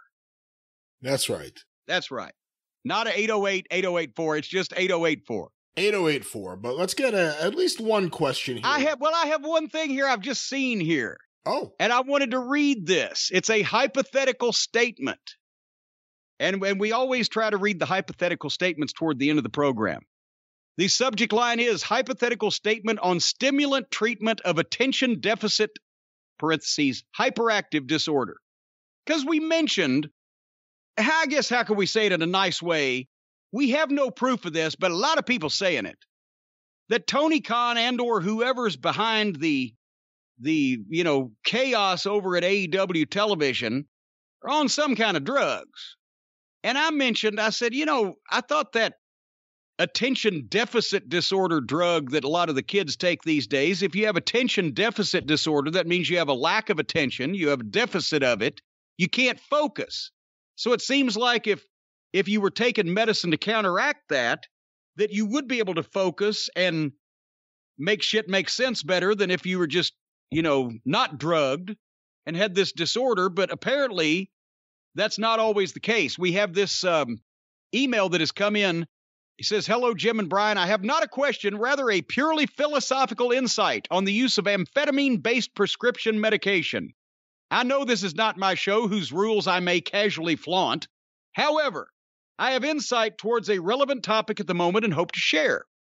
Disclaimer this insight is in no way accusatory towards any living person, including professional wrestling bookers, nor the author of this email. Let's just say I used to work with a speed freak who liked to share his or her experiences. Nod wink. Pharmaceutical ADD, ADHD medication is essentially speed of the highest order. In many ways, it is fantastic, a human marvel. It is likely the closest substance to a limitless drug with responsible use and moderately healthy living and sleep cycling, one's brain is stimulated by an alert, focused, and creative deluge of electricity. Such drugs, of course, come with implicit costs that can lead to Jim's favorite economic concept, the law of diminishing returns. Predictably, high order speed works as an even higher order stimulant, allowing the brain and body to work past normal, perhaps even healthy limits a fact unfortunately not lost on the Germans during World War II. I've seen that on the History Channel. In short, these pills are highly addictive to the point of abuse. Such abuse can cause a person to spiral mentally and or physically over time. Higher and or more frequent doses are counteracted by loss of sleep among other negative effects. The lack of sleep alone can obviously wreak severe havoc upon a human brain, especially in medium to long term time periods. So, yes, ADD medicine does improve focus, except when it makes you so crazy that focus isn't even a biological possibility. Disclaimer The author does not believe nor intend to suggest that Tony Khan is either an amphetamine addict nor a Nazi. However, the author absolutely declares that Tony Khan is an imposter of everything that he purports to be with respect to professional wrestling and entirely unaware of self. To sum up in another decidedly more markish way, dude, Tony, get some fucking sleep. Rich guys are supposed to live to be like a hundred. Thank you, fuck you, bye, Matt from Memphis, Tennessee. I love it when we have letters from the listeners. seems to be a rather informed listener about this subject. Well, let's see. You how- were about to ask a question and play some song. I was going to ask at least one question and play at least one song. This email, are you ripping it up? What are you doing now? I'm not ripping it. I'm just crumpling. Crumpling's not as as violent as ripping. Okay, this is some news here. We now know there's a rip pile and a crumpled pile. Yeah, well, see, it's it's stages. First, you first you just crumple, then you rip, and then finally you either burn or flush. Eating the notes doesn't work. We've learned that recently on the show. Let's find out what will happen to this email. Sent to CornyDriveThrough at gmail.com from Ted Marsh. I recently read a book Sleep, My Child, Forever, about Ellen Boehm, a mother and NWA superfan who murdered two of her children for life insurance money in the late 80s. What? According to the book, this lady traveled around the country attending NWA shows and was well known to the wrestlers, even having a quasi relationship with Paul Ellering. What? I was wondering if you were familiar with this case or had any memories of Ellen Boehm. I've never heard the name. I don't, I mean, I, as far as just random women traveling around the matches, that, yeah, that could be any number of people, but I have, I don't know what this woman looks like. I don't, uh, I don't remember Paul ever saying, you know, was that time that uh, I was fucking around with this serial killer. I don't remember that. You got any pictures? I don't have any pictures. no. Somebody, okay, folks, send the pictures. Put the pictures out there. Uh, send them to us. Email, Twitter, whatever. Who is this Ellen Boehm and what does she look like? All right, well, let's end on a different question since we got nowhere quickly that time. No, but we got there quick. That's the most important part. This next question sent to corny drive through at gmail.com from Justin in Connecticut. Is Vince at his best when he's producing someone else's ideas? You look at the most successful times of WWE, he was always producing someone else's ideas. For instance, Pritchard and Cornette, Russo and Ferrara, Paul Heyman, etc. Patterson. Vince's original ideas gave us Gobbledygooker, Isaac Yankem, Million Dollar Mania, Katie Vick, and Fake Diesel. Is Vince McMahon the Rick Rubin of wrestling? Now, what? Why would Better that- at producing someone else than being the artist himself. Okay, well, I don't know if Rubin ever tried to be an artist. I don't know if he can play any instrument. He was a Um, DJ. He was that's how Def Jam started. He was a DJ. Well, but that's his just playing room. other people's shit. But it's putting it in a new way to create a new song, Horse shit. whether or not you pay for the royalties to use the song you're sampling. Hey, I like what Rubin told me one time when I said, "Should we? uh, Are we going to get in trouble if we don't pay any royalties on this music we're using on Smoky Mountain Wrestling?" He said, "I make rap records. We take other people's music and sell it. Just do it until somebody tells you not to." anyway, um, well, I mean, yeah, that kind of actually that question. The answer is yes, and it's not even as something you need to think about as long as you might think. Vince Vince was never a booker in that he would figure out a program and he would start it with this angle and it would be over this issue or he would come up with a finish. He would put one foot in front of another finish rather than yeah the finish I want to see him fuck him. Okay well everybody can come up with that but exactly how Vince sees the big picture Vince sees talent Vince sees things he can promote. Like I said, whether it be the WrestleMania main event that used to be the most important thing in his life, is what's the main event for WrestleMania? I want to know it if I can a year out, certainly three to six months. Have it set in stone by then. And he agonized over the thought. And when he would rethink things, remember when 97, the worst WrestleMania buy rate of all time, but he he didn't get what he wanted with Brett and Shawn because they were having their shit, and he went back to the big guys, and we got Taker and Diesel, and that sucked. Um, or not ninety seven, but uh, goddamn, what was it? Ninety seven, Taker and Sid is what I'm trying to say. Um, so yes, he's better producing other people's ideas because then. If you have guys that can come up with finishes, or if you have guys that can come up with angles, or if you have guys that do say, well, I've done this in the past or that in the past, because Vince was never a performer, as we all know, until the Attitude Era. So he didn't have, you know, most bookers were wrestlers, or at least were performers in the business. And so they had a mental Rolodex of finishes they'd been involved in, angles they had done, things they'd seen in the territories they'd worked, whatever. Vince never watched any other wrestling besides his. He obviously saw plenty of WWWF, but that led to repetition over time.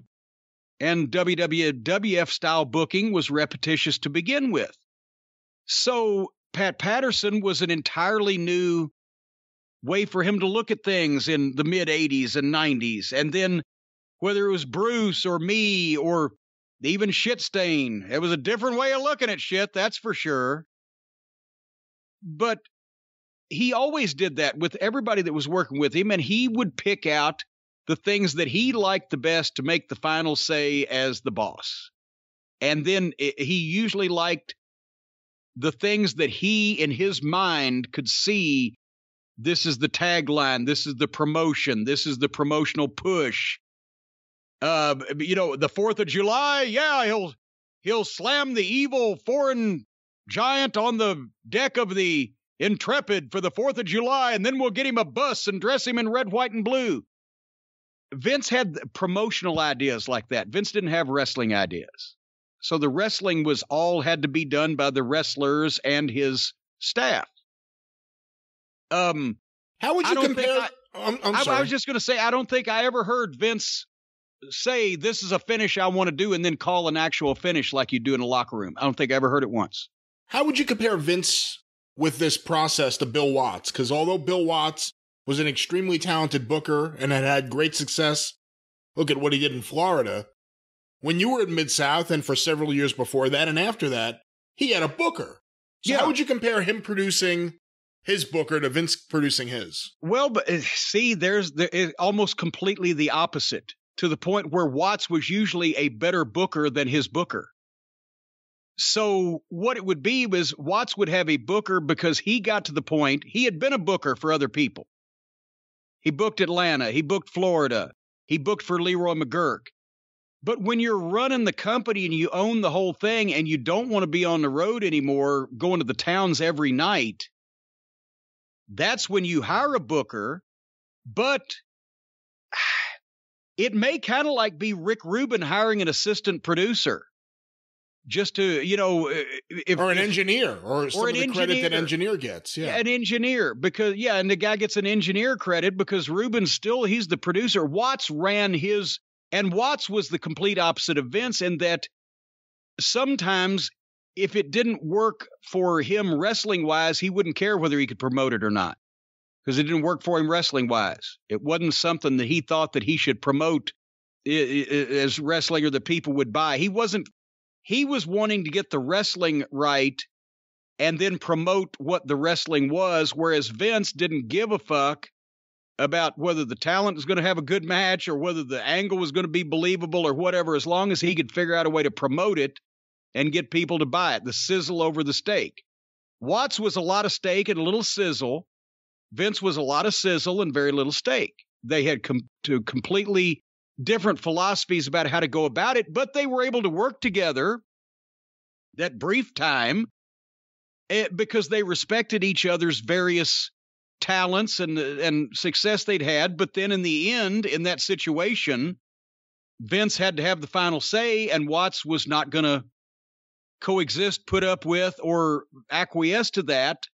Somebody overruling him about wrestling, and and that's when he said, you know, okay, Vince, in that case, I'm going home because there's only room for one Titan in Titan Sports. We're not mad, we're not fighting, but you you know same thing in atlanta. They said he had the final say and then he found out he didn't have the final say. And you will find with perfectionists and people that i mean let's face it bill watts was probably at the time in the 80s um if not the best booker in the business one of the best two or three and you when you find people that are confident in their ability and not only know that they're the best at what they do, but have a track record of it, they don't want to be told anything different in their specialty. And so that's why they prefer to do their own thing rather than things for other people because it's too much fucking headache dumbing your shit down for the people you're working for. And by the way, as as as as you can tell, I've experienced a bit of that myself. I was going to say, who would a booker become more frustrated working under, Vince or Watts? Vince. Vince. Vince was always frustrating to work under, even when he was nice to you, because goddamn the the last minute mind changes and just the things that he comes up with, and he said, "Okay, this is our mystery." Now, you know, after I've already written the crime for you, you solve it. Well, uh, Vince is more frustrated for a booker. Watts would demand perfection, but you would learn so much about the actual booking that it, to me it would be fun. It would it would be fun. It wouldn't be a, a, a chore at all, even though you know you would be expected to produce or you'd be out on your ear. But again, I mean, I I didn't work in the the office with Watts, but I worked as a talent for Bill Watts for a year, and it was never frustrating. I never learned so much in one compact period about the wrestling business in my life. Whereas Vince, be very fucking frustrating. I learned tons about promotion and television and dealing with things like that from Vince. I never learned anything about wrestling from Vince McMahon. Not wrestling itself or the performance of it, but promotion of it, television broadcasting of it, formatting of it, yes, but not anything about wrestling. Well, with that, the WrestleMania edition of the Drive Thru is closed.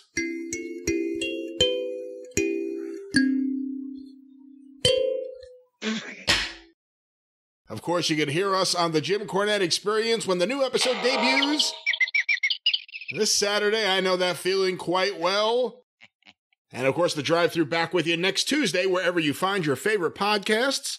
Get access to classic episodes of the Drive Thru and the experience by becoming a patron. Patreon.com slash Cornette. For and hey, when you get your action figures in the mail this week, tweet out a picture of them to give other people hope. Hashtag it can happen to you. Remember, I want to make sure people know I'm actually sending these things out.